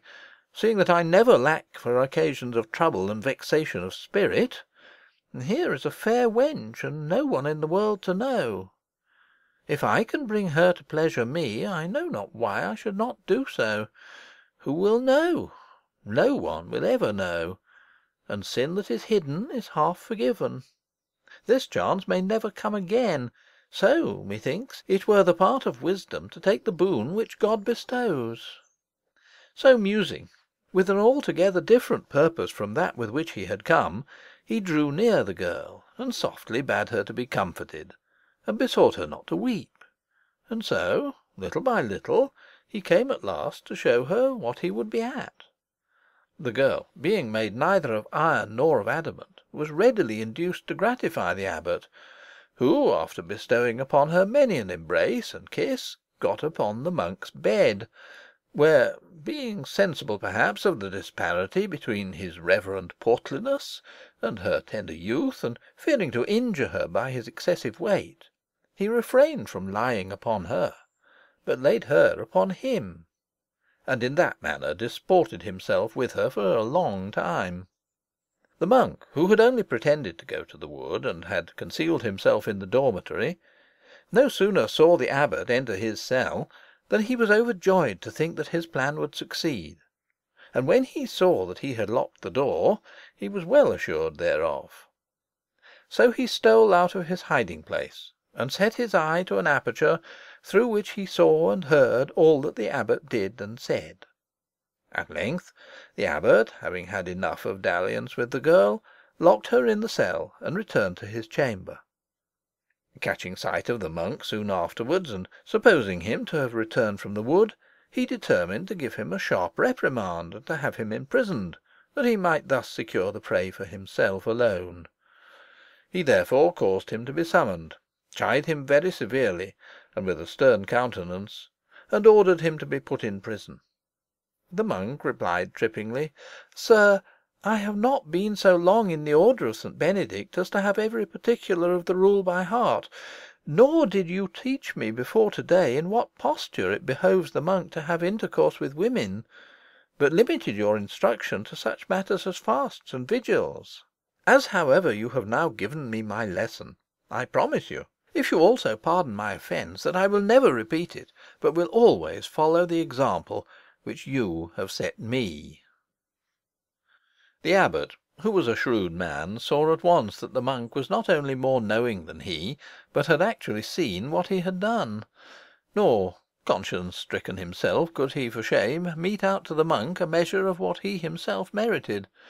So, pardon given, with an injunction to bury what had been seen in silence, they decently conveyed the young girl out of the monastery, whither, it is to be believed, they now and again caused her to return. End of Day One, the fourth story.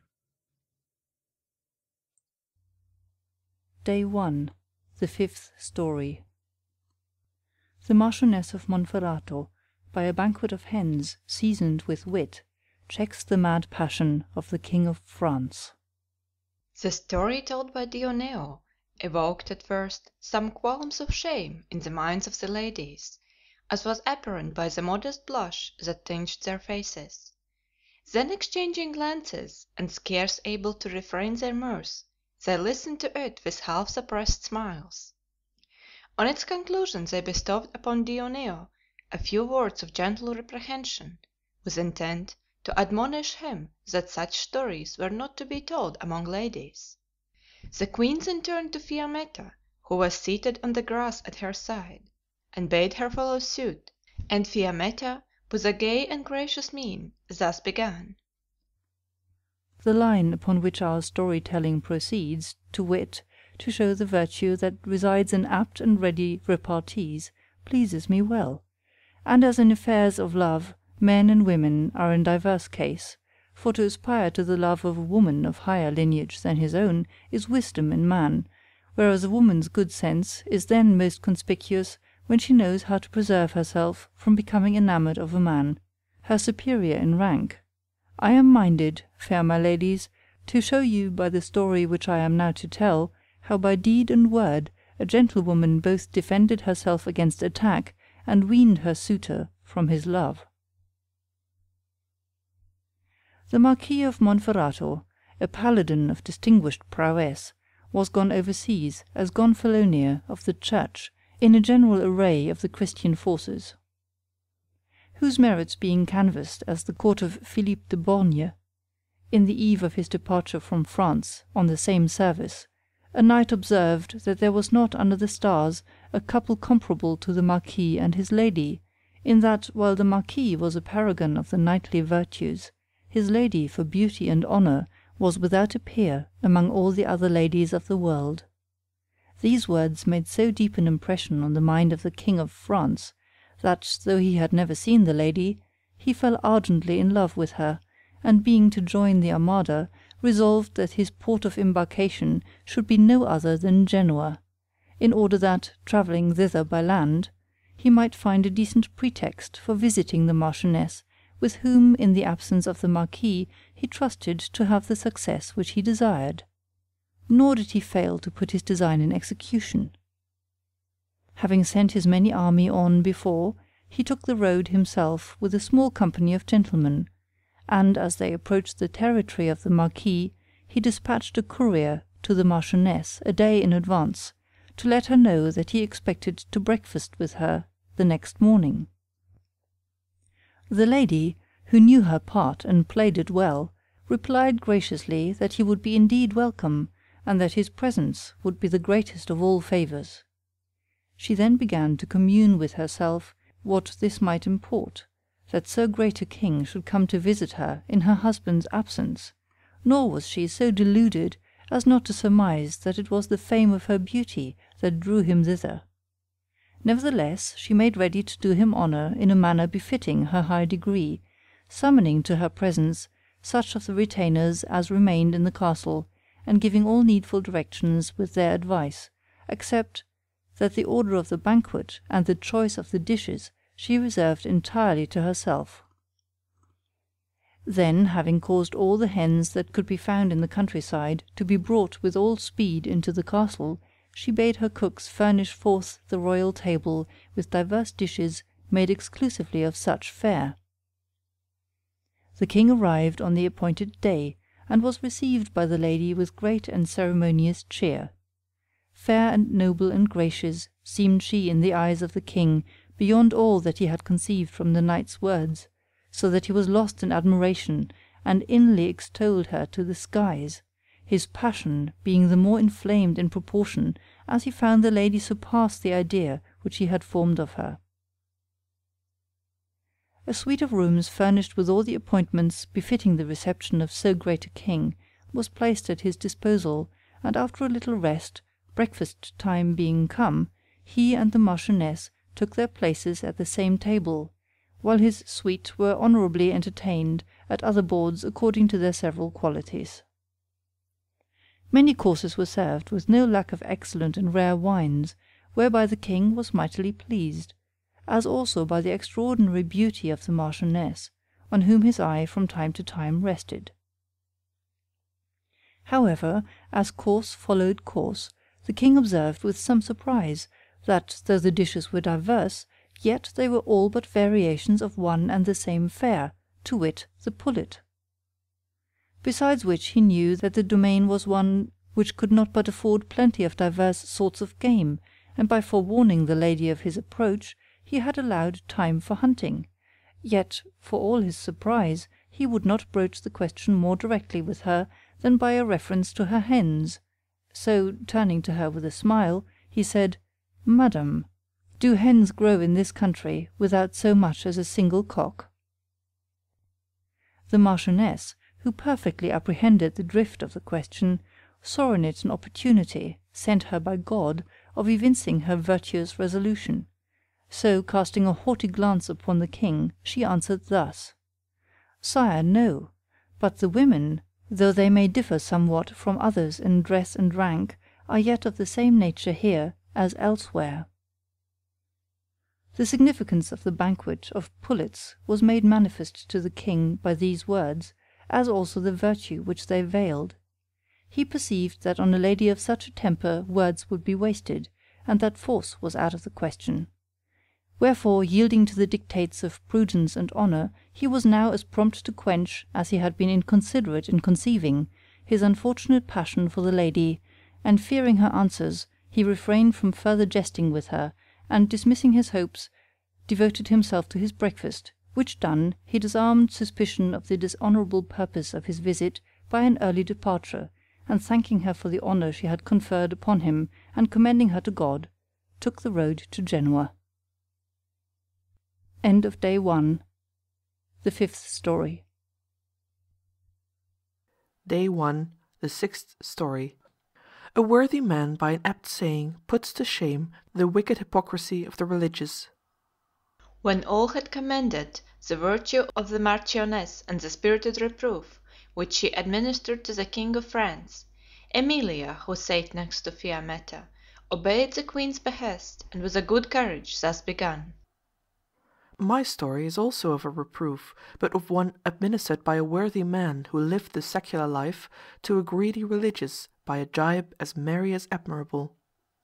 Know then, dear ladies, that there was in our city, not long ago, a friar minor, an inquisitor in matters of heresy, who, albeit he strove might and main to pass himself off as a holy man and tenderly solicitous for the integrity of the Christian faith, as they all do, yet he had as keen a scent for a full purse as for a deficiency of faith. Now it so chanced that his zeal was rewarded by the discovery of a good man far better furnished with money than with sense, who in an unguarded moment not from defect of faith, but rather, perhaps, from excess of hilarity, being heated with wine, had happened to say to his boon companions that he had a wine good enough for Christ himself to drink. Which being reported to the inquisitor, he, knowing the man to be possessed of large estates and a well lined purse, set to work in hot haste, cum gladiis et fustibus, to bring all the rigour of the law to bear upon him, designing thereby not to lighten the load of his victim's misbelief, but to increase the weight of his own purse by the florins which he might, as he did, receive from him. So he cited him to his presence, and asked him whether what was alleged against him were true. The good man answered in the affirmative, and told him how it had happened. Then, said our most holy and devout inquisitor of St. John Goldenbeard, then hast thou made Christ a winebibber and a lover of rare vintages, as if he were a sot, a toper, and a tavern haunter even as one of you; and thinkst thou now by a few words of apology to pass this off as a light matter? It is no such thing as thou supposest. Thou hast deserved the fire, and we should but do our duty did we inflict it upon thee. With these and the like words in plenty he upbraided him bending on him meanwhile a countenance as stern as if Epicurus had stood before him denying the immortality of the soul. In short, he so terrified him that the good man was fain to employ certain intermediaries to anoint his palms with a liberal allowance of St. John Goldenmouth's grease, an excellent remedy for the disease of avarice, which spreads like a pestilence among the clergy, and notably among the friars minors, who dare not touch a coin, that he might deal gently with him. And great being the virtue of this ointment, albeit no mention is made thereof by Galen in any part of his medicines, it had so gracious an effect that the threatened fire gave place to a cross, which he was to wear as if he were bound for the emprise over seas; and to make the ensign more handsome, the Inquisitor ordered that it should be yellow upon a black ground. Besides which, after pocketing the coin, he kept him dangling about him for some days, bidding him by way of penance hear mass every morning at Santa Croce, and afterwards wait upon him at the breakfast hour, after which he was free to do as he pleased for the rest of the day. All which he most carefully observed, and so it fell out that one of these mornings there were chanted at the mass at which he assisted the following words of the Gospel: "You shall receive an hundredfold, and shall possess eternal life." With these words deeply graven in his memory, he presented himself, as he was bidden, before the Inquisitor, where he sat taking his breakfast, and being asked whether he had heard mass that morning, he promptly answered, "Yes, sir."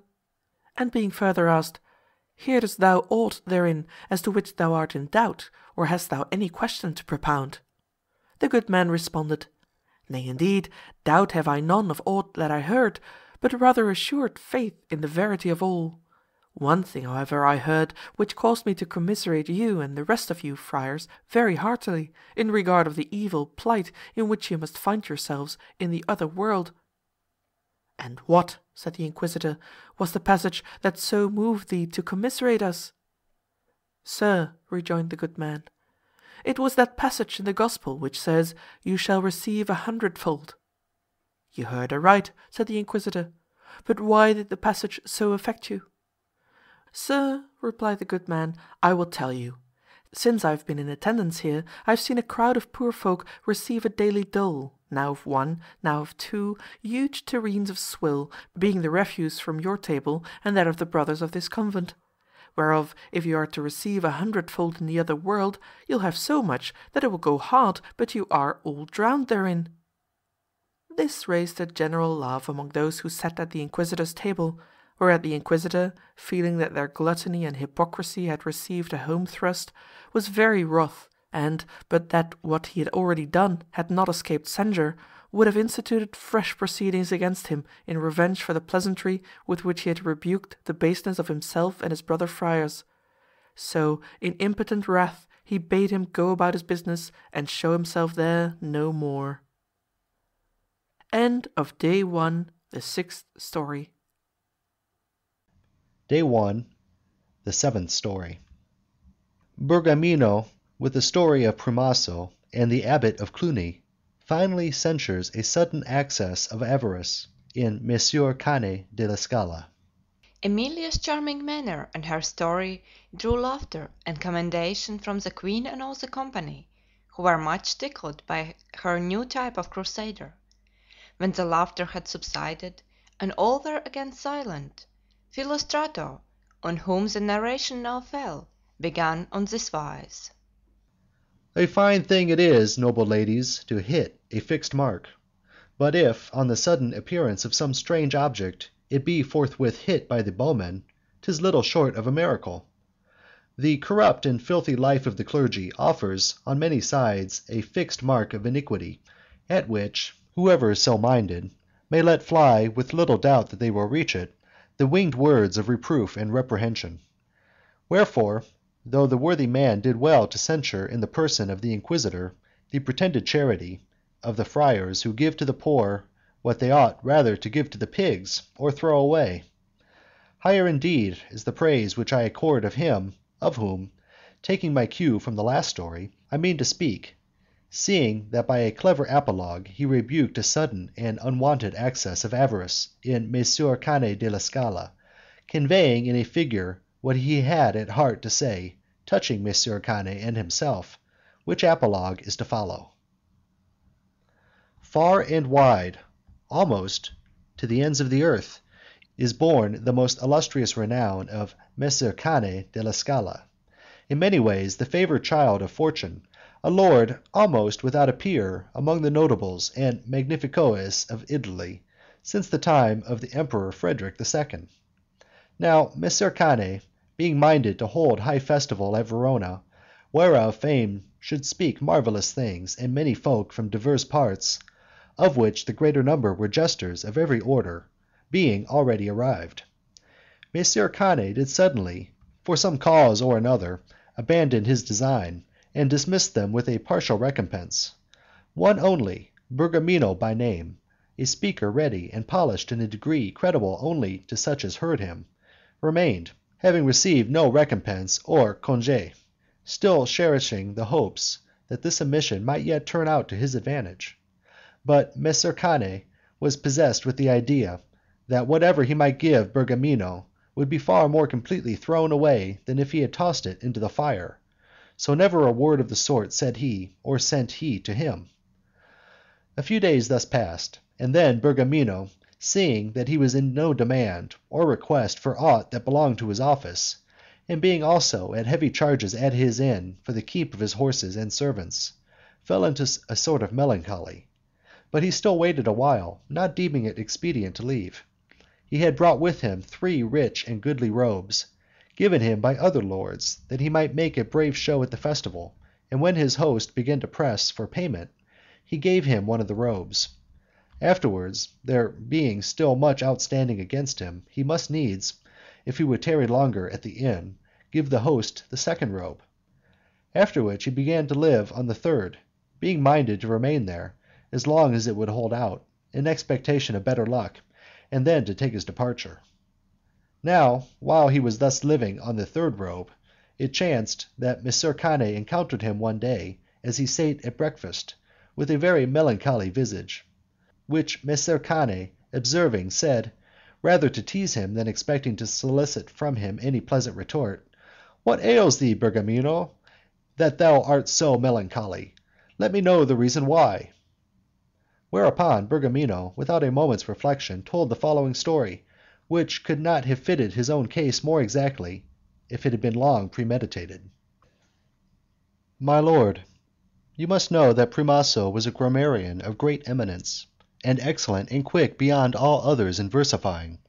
whereby he waxed so notable and famous that, albeit he was not everywhere known by sight, yet there were scarce any that did not at least know by name and report who Primaso was. Now it so happened that, being once at Paris in straitened circumstances, as was his lot to be most of his time by reason that virtue is little appreciated by the powerful, he heard speak of the abbot of Cluny, who, except the pope, is supposed to be the richest prelate. In regard to his vast revenues that the church of God can show, and marvellous and magnificent things were told him of the perpetual court which the abbot kept, and how, wherever he was, he denied not to any that came there either meat or drink, so only that he preferred his request while the abbot was at table. Which when Primaso heard, he determined to go and see for himself what magnificent state this abbot kept; for he was one that took great delight in observing the ways of powerful and lordly men. Wherefore he asked how far from Paris was the abbot then sojourning. He was informed that the abbot was then at one of his places distant perhaps six miles, which Primaso concluded he could reach in time for breakfast if he started early in the morning. When he had learned the way, he found that no one else was travelling by it, and fearing lest by mischance he should lose it, and so find himself where it would not be easy for him to get food, he determined to obviate so disagreeable a contingency by taking with him three loaves of bread; as for drink, water, though not much to his taste, was, he supposed, to be found everywhere. So, having disposed the loaves in the fold of his tunic, he took the road, and made such progress that he reached the abbot's place of sojourn before the breakfast hour. Having entered, he made the circuit of the entire place, observing everything, the vast array of tables, and the vast kitchen well appointed with all things needful for the preparation and service of the breakfast, and saying to himself, "In very truth this man is even such a Magnifico as he was reported to be." While his attention was thus occupied, the abbot's seneschal, it now being breakfast time, gave order to serve water for the hands, which being washened, they sat them all down to breakfast. Now it so happened that Primaso was placed immediately in front of the door by which the abbot must pass from his chamber into the hall, in which, according to rule of his court, neither wine, nor bread, nor aught else drinkable or eatable was ever set on the tables before he made his appearance and was seated. The seneschal, therefore, having set the tables, sent word to the abbot that all was now ready, and they waited only his pleasure. So the abbot gave the word, the door of his chamber was thrown open, and he took a step or two forward towards the hall, gazing straight in front of him as he went. Thus it fell out that the first man on whom he set eyes was Primaso, who was in very sorry trim. The abbot, who knew him not by sight, no sooner saw him, than, surprised by a churlish mood, to which he had hitherto been an entire stranger, he said to himself, "So it is such as this man that I give my hospitality." And going back into the chamber, he bade lock the door, and ask of his attendants whether the vile fellow that sate at table directly opposite the door was known to any of them. Who, one and all, answered in the negative. Primaso waited a little, but he was not used to fast, and his journey had whetted his appetite; so, as the abbot did not return, he drew out one of the loaves which he had brought with him and began to eat. The abbot, after a while, bade one of his servants to go to see whether Primaso were gone. The servant returned with the answer, "No, sir; and, what is more, he is eating a loaf of bread, which he seems to have brought with him." "Be it so then," said the abbot, who was vexed that he had not gone of his own accord, but was not disposed to turn him out. "Let him eat his own bread, if he have any, for he shall have none of ours to day." By and by Primaso, having finished his first loaf, began, as the abbot did not make his appearance, to eat the second, which was likewise reported to the abbot, who had again sent to see if he were gone. Finally, as the abbot still delayed his coming, Primaso, having finished the second loaf, began upon the third, whereof once more word was carried to the abbot, who now began to commune with himself, and said, "Alas! my soul! what unwonted mood harbourest thou today? What avarice, what scorn, and of whom? I have given my hospitality now for many a year to whoso craved it, without looking to see whether he were gentle or churl, poor or rich, merchant or cheat, and mine eyes have seen it squandered on vile fellows without number, and naught of that which I feel towards this man ever entered my mind. Assuredly it cannot be he is a man of no consequence who is the occasion of this access of avarice in me. Though he seem to me a vile fellow, he must be some great man, that my mind is thus obstinately averse to do him honour. Of which musings the upshot was that he sent to inquire who the vile fellow was, and, learning that he was Primaso, come to see if what he had heard of his magnificent state were true, he was stricken with shame, having heard of old Primaso's fame, and knowing him to be a great man. Wherefore, being zealous to make him the amend, he studied to do him honour in many ways. And after breakfast, that his garb might accord with his native dignity, he caused him to be nobly arrayed, and setting him upon a palfrey and filling his purse, left it to his own choice whether to go or stay. So Primaso, with a full heart, thanked him for his courtesy in terms the amplest that he could command, and, having left Paris afoot, returned thither on horseback. Miss was shrewd enough to apprehend Bergamino's meaning perfectly well without a gloss, and said with a smile, "Bergamino, thy parable is apt, and declares to me very plainly thy losses, my avarice, and what thou desirest of me; and in good sooth this access of avarice, of which thou art the occasion, is the first I have experienced; but I will expel the intruder with the baton which thou thyself hast furnished." So he paid Bergamino's reckoning, habited him nobly in one of his own robes, gave him money and a palfrey, and left it for the time at his discretion whether to go or to stay. End of Day One, the seventh story. Day One, the eighth story. Guglielmo Borsiere, by a neat retort, sharply censures avarice in Messer Ermino de Grimaldi.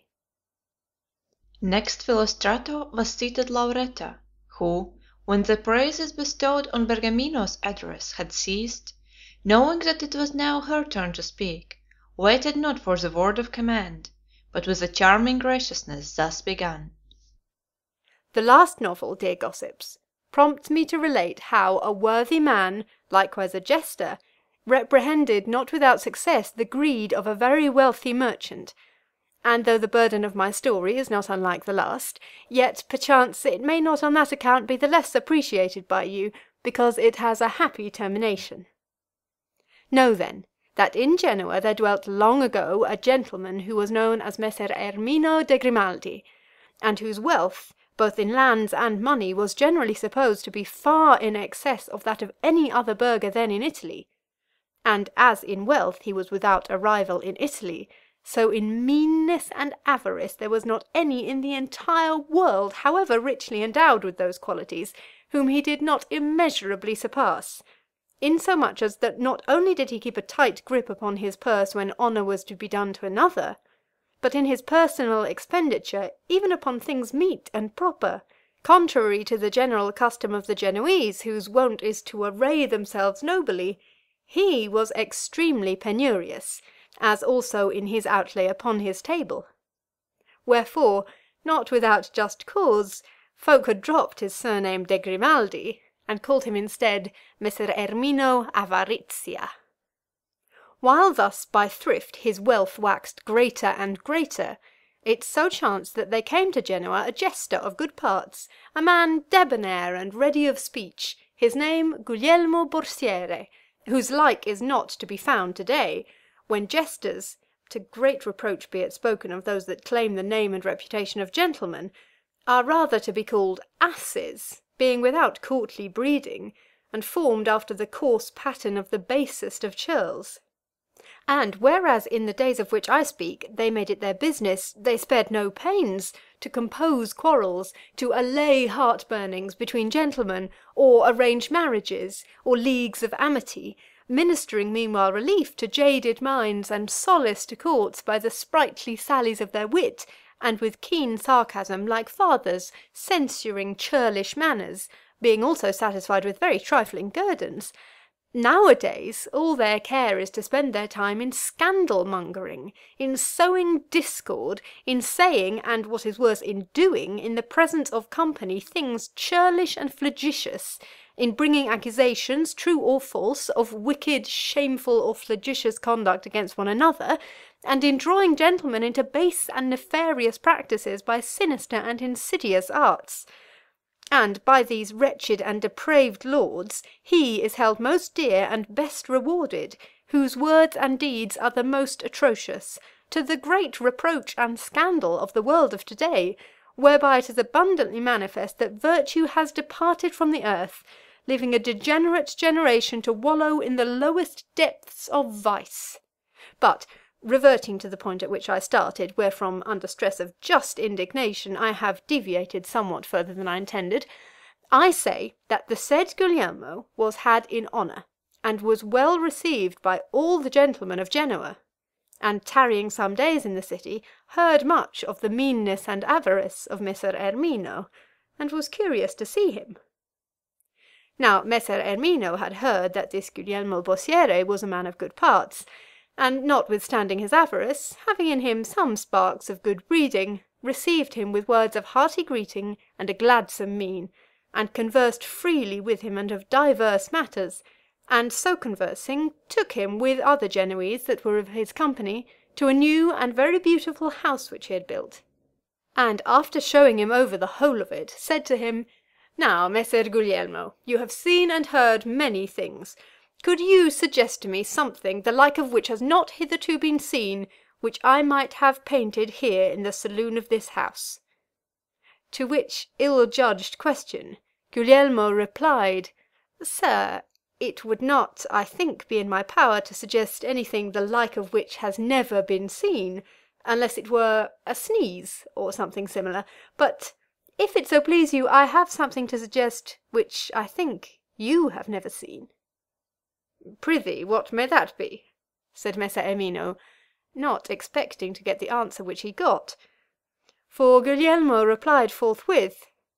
Paint courtesy here. Which Messer Ermino had no sooner heard than he was so stricken with shame that his disposition underwent a complete change, and he said, Messer Guglielmo, I will see to it that courtesy is here painted in such wise that neither you nor any one else shall ever again have reason to tell me that I have not seen or known that virtue. And henceforward, so enduring was the change wrought by Guglielmo's words, there was not in Genoa, while he lived any gentleman so liberal and so gracious, and so lavish of honour both to strangers and to fellow citizens, as Messer Ermino de Grimaldi. End of Day One, the eighth story. Day 1, the ninth story. The censure of a Gascon lady converts the king of Cyprus from a churlish to an honourable temper. Except Elisa, none now remained to answer the call of the queen, and she, without waiting for it, with gladsome alacrity, thus began. Bethink you, damsels, how often it has happened that men who have been obdurate to censures and chastisements have been reclaimed by some unpremeditated casual word. This is plainly manifest by the story told by Lauretta, and by mine, which will be of the briefest. I mean further to illustrate it, seeing that good stories, being always pleasurable, are worth listening to with attention, no matter by whom they may be told. To us, then, in the time of the first king of Cyprus, after the conquest made of the Holy Land by Godfrey de Bouillon, that a lady of Gascony made a pilgrimage to the Holy Sepulchre,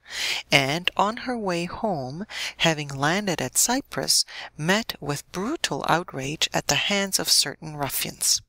Broken hearted and disconsolate, she determined to make her complaint to the king; but she was told that it would be all in vain, because so spiritless and fainéant was he, that he not only neglected to avenge affronts put upon others, but endured with a reprehensible tameness those that were offered to himself, insomuch that whoso had any ill humour to vent, took occasion to vex or mortify him. The lady, hearing this report, despaired of redress, and by way of alleviation of her grief, determined to make the king sensible of his baseness. So, in tears, she presented herself before him and said,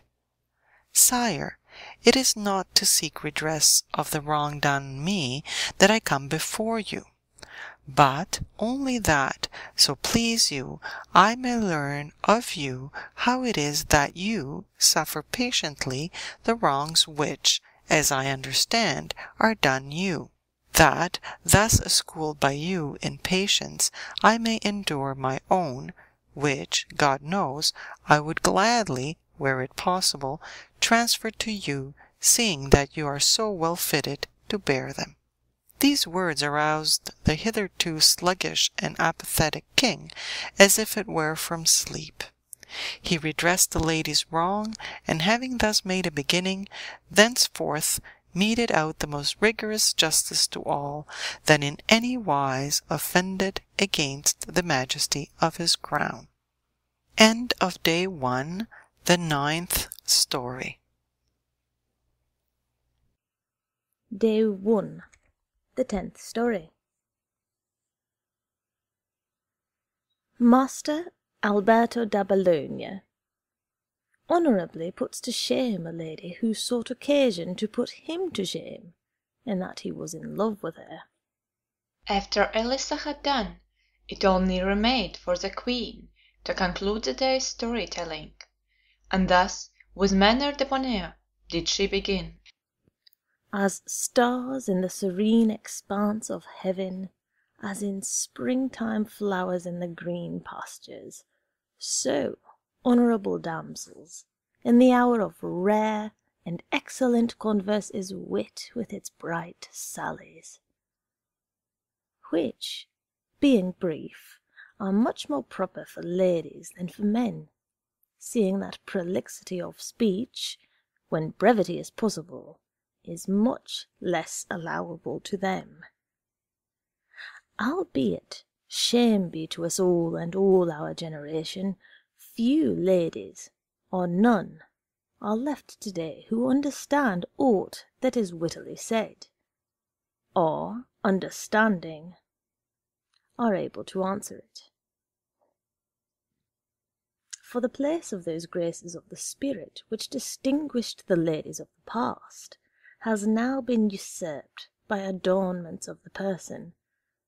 and she whose dress is most richly and variously and curiously dyed accounts herself more worthy to be had in honour,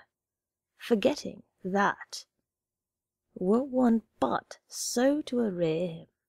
an ass would carry a far greater load of finery than any of them, for all that be not a whit the more deserving of honour.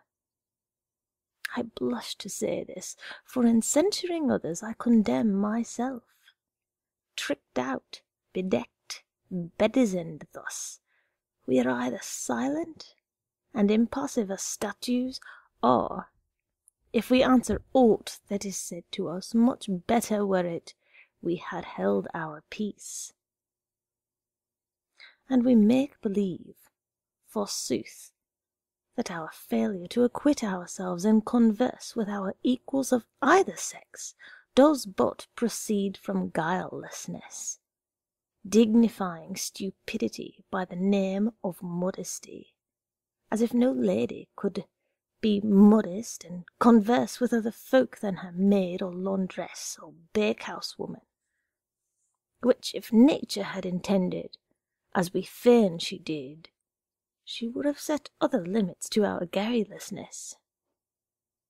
True it is that in this, as in other matters, time and place and person are to be regarded, because it sometimes happens that a lady or gentleman, thinking by some sally of wit to put another to shame, has rather been put to shame by that other, having failed duly to estimate their relative powers. Wherefore, that you may be on your guard against such error, and further, that in you not be exemplified the common proverb, to wit, that women do ever and on all occasions choose the worst. I trust that this last of today's stories, which falls to me to tell, may serve you as a lesson, that, as you are distinguished from others by nobility of nature, so you may also shew yourselves separate from them by excellence of manners.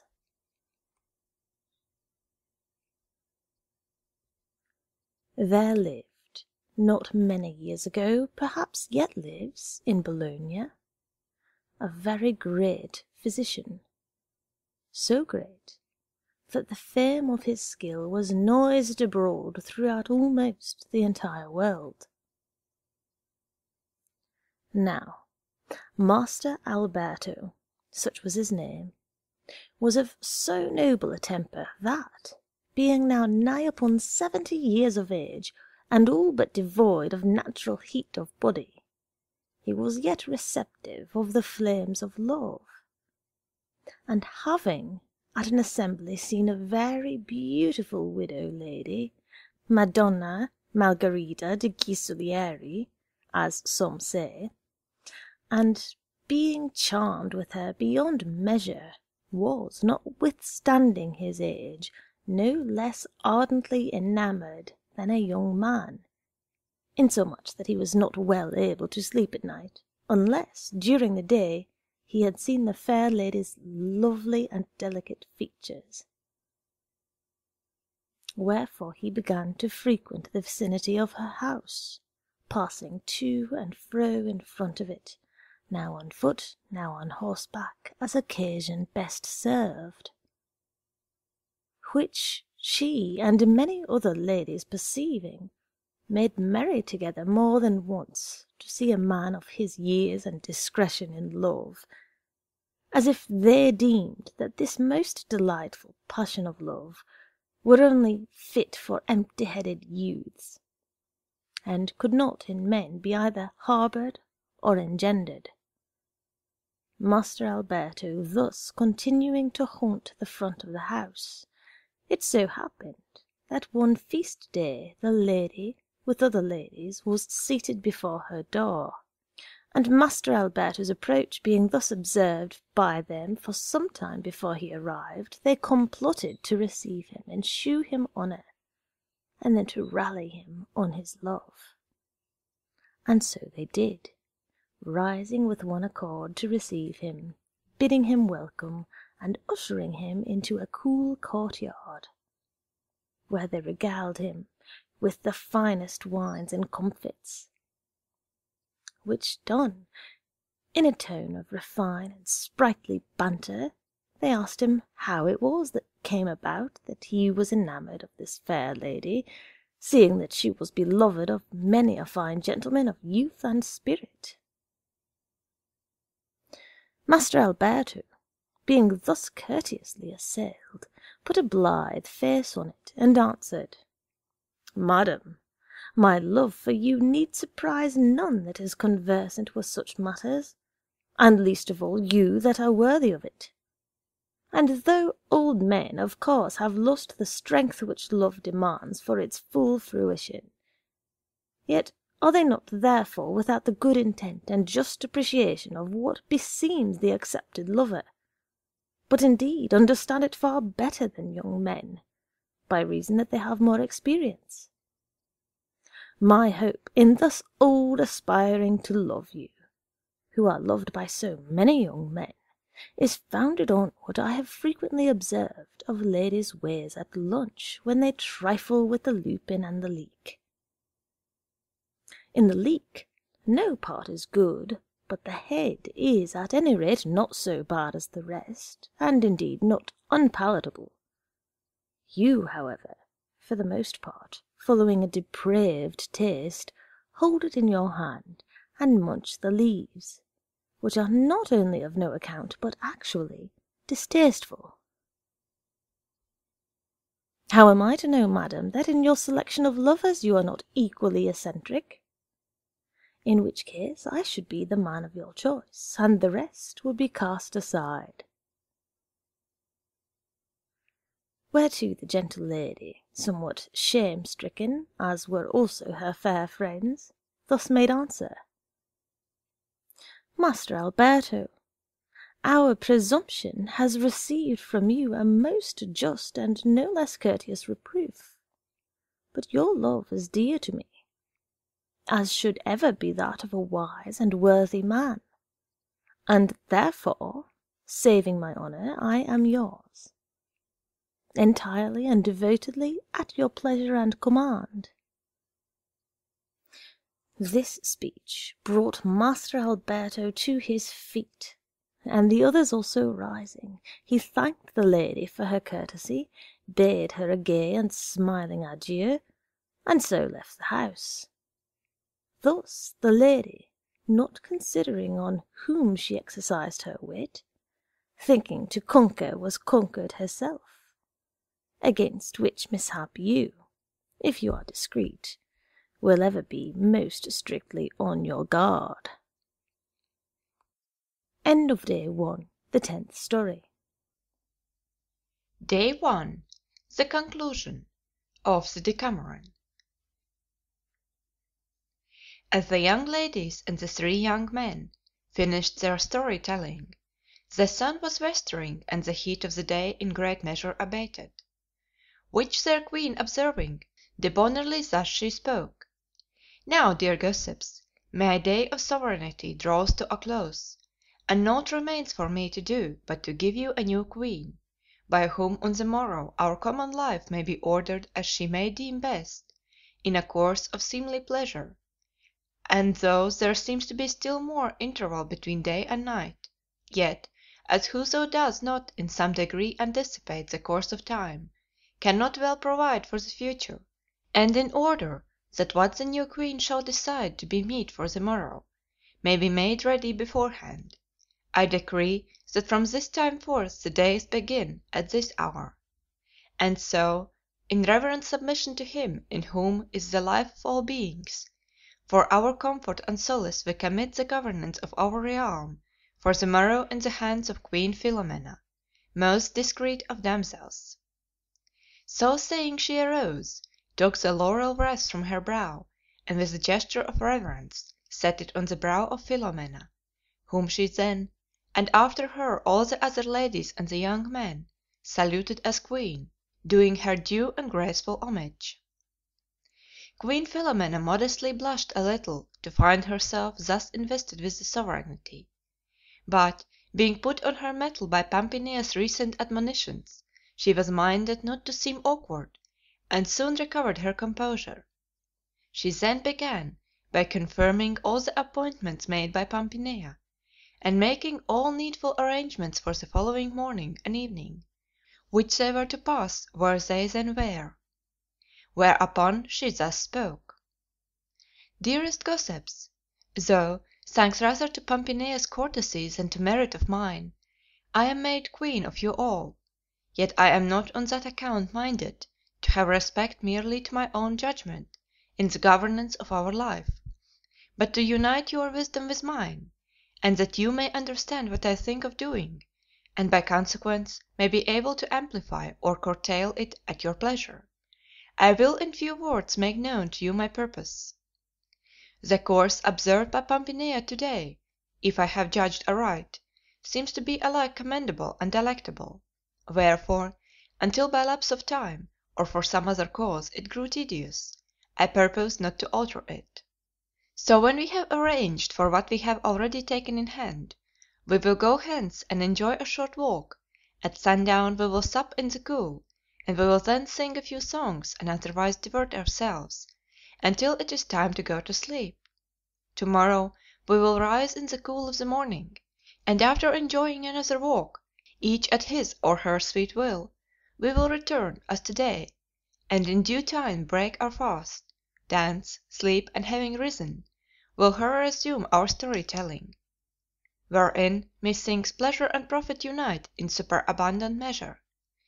True it is that Pampinea, by reason of her late election to the sovereignty, neglected one matter which I mean to introduce, to wit, the circumscription of the topic of our story telling, and its preassignment, that each may be able to premeditate some apt story bearing upon this theme; and seeing that from the beginning of the world fortune has made men the sport of divers accidents, and so it will continue until the end, the theme, so please you, shall in each case be the same, to wit, the fortune of such as after divers adventures have at last attained a goal of unexpected felicity. The ladies and the young men alike commended the rule thus laid down, and agreed to follow it. Dioneo, however, when the rest had done speaking, said "Madam, as all the rest have said, so say I, briefly, that the rule prescribed by you is commendable and delectable; but of your especial grace I crave a favor, which, I trust, may be granted and continued to me, so long as our company shall endure; which favor is this: that I be not bound by the assigned theme, if I am not so minded, but that I have leave to choose such topic as best shall please me; and lest any suppose that I crave this grace as one that has not stories ready to hand, I am henceforth content that mine be always the last." The Queen, knowing him to be a merry and facetious fellow, and feeling sure that he only craved this favor in order that, if the company were jaded, he might have an opportunity to recreate them by some amusing story, gladly, with the consent of the rest, granted his petition. She then rose, and attended by the rest sauntered towards a stream, which, issuing clear as crystal from a neighboring hill, precipitated itself into a valley shaded by trees close set amid living rock and fresh green herbage. Bare of foot and arm they entered the stream, and rowing hither and thither amused themselves in divers ways, till in due time they returned to the palace and gaily supped. Supper ended, the Queen sent for instruments of music, and bade Lauretta lead a dance, while Emilia was to sing a song, accompanied by Dioneo on the lute. Accordingly Lauretta led a dance, while Emilia with passion sang the following song. so fain I am of my own loveliness, I hope nor think not e'er the weight to feel of other amorousness. When in the mirror I my face behold, that see I there which doth my mind content, nor any present hap or memory old may me deprive of such sweet ravishment. Where else then should I find such blandishment of sight and sense that e'er my heart should know another amorousness? Nor need I fear lest the fair thing retreat when fain I am my solace to renew. Rather I know 'twill me advance to meet, to pleasure me, and show so sweet a view, That speech or thought of none its semblance true paint or conceive may ever, unless he burn with even such amorousness. Thereon as more intent I gaze, the fire waxes within me hourly more and more, myself I yield thereto, myself entire, and foretaste have of what it hath in store, and hope of greater joyance than before, nay, such as ne'er none knew, for ne'er was felt such amorousness. This ballad, to which all heartily responded, albeit its words furnished much matter of thought to some, was followed by some other dances, and part of the brief night being thus spent, the queen proclaimed the first day ended, and bade light the torches that all might go to rest until the following morning; and so, seeking their several chambers, to rest they went. End of Day one. Conclusion.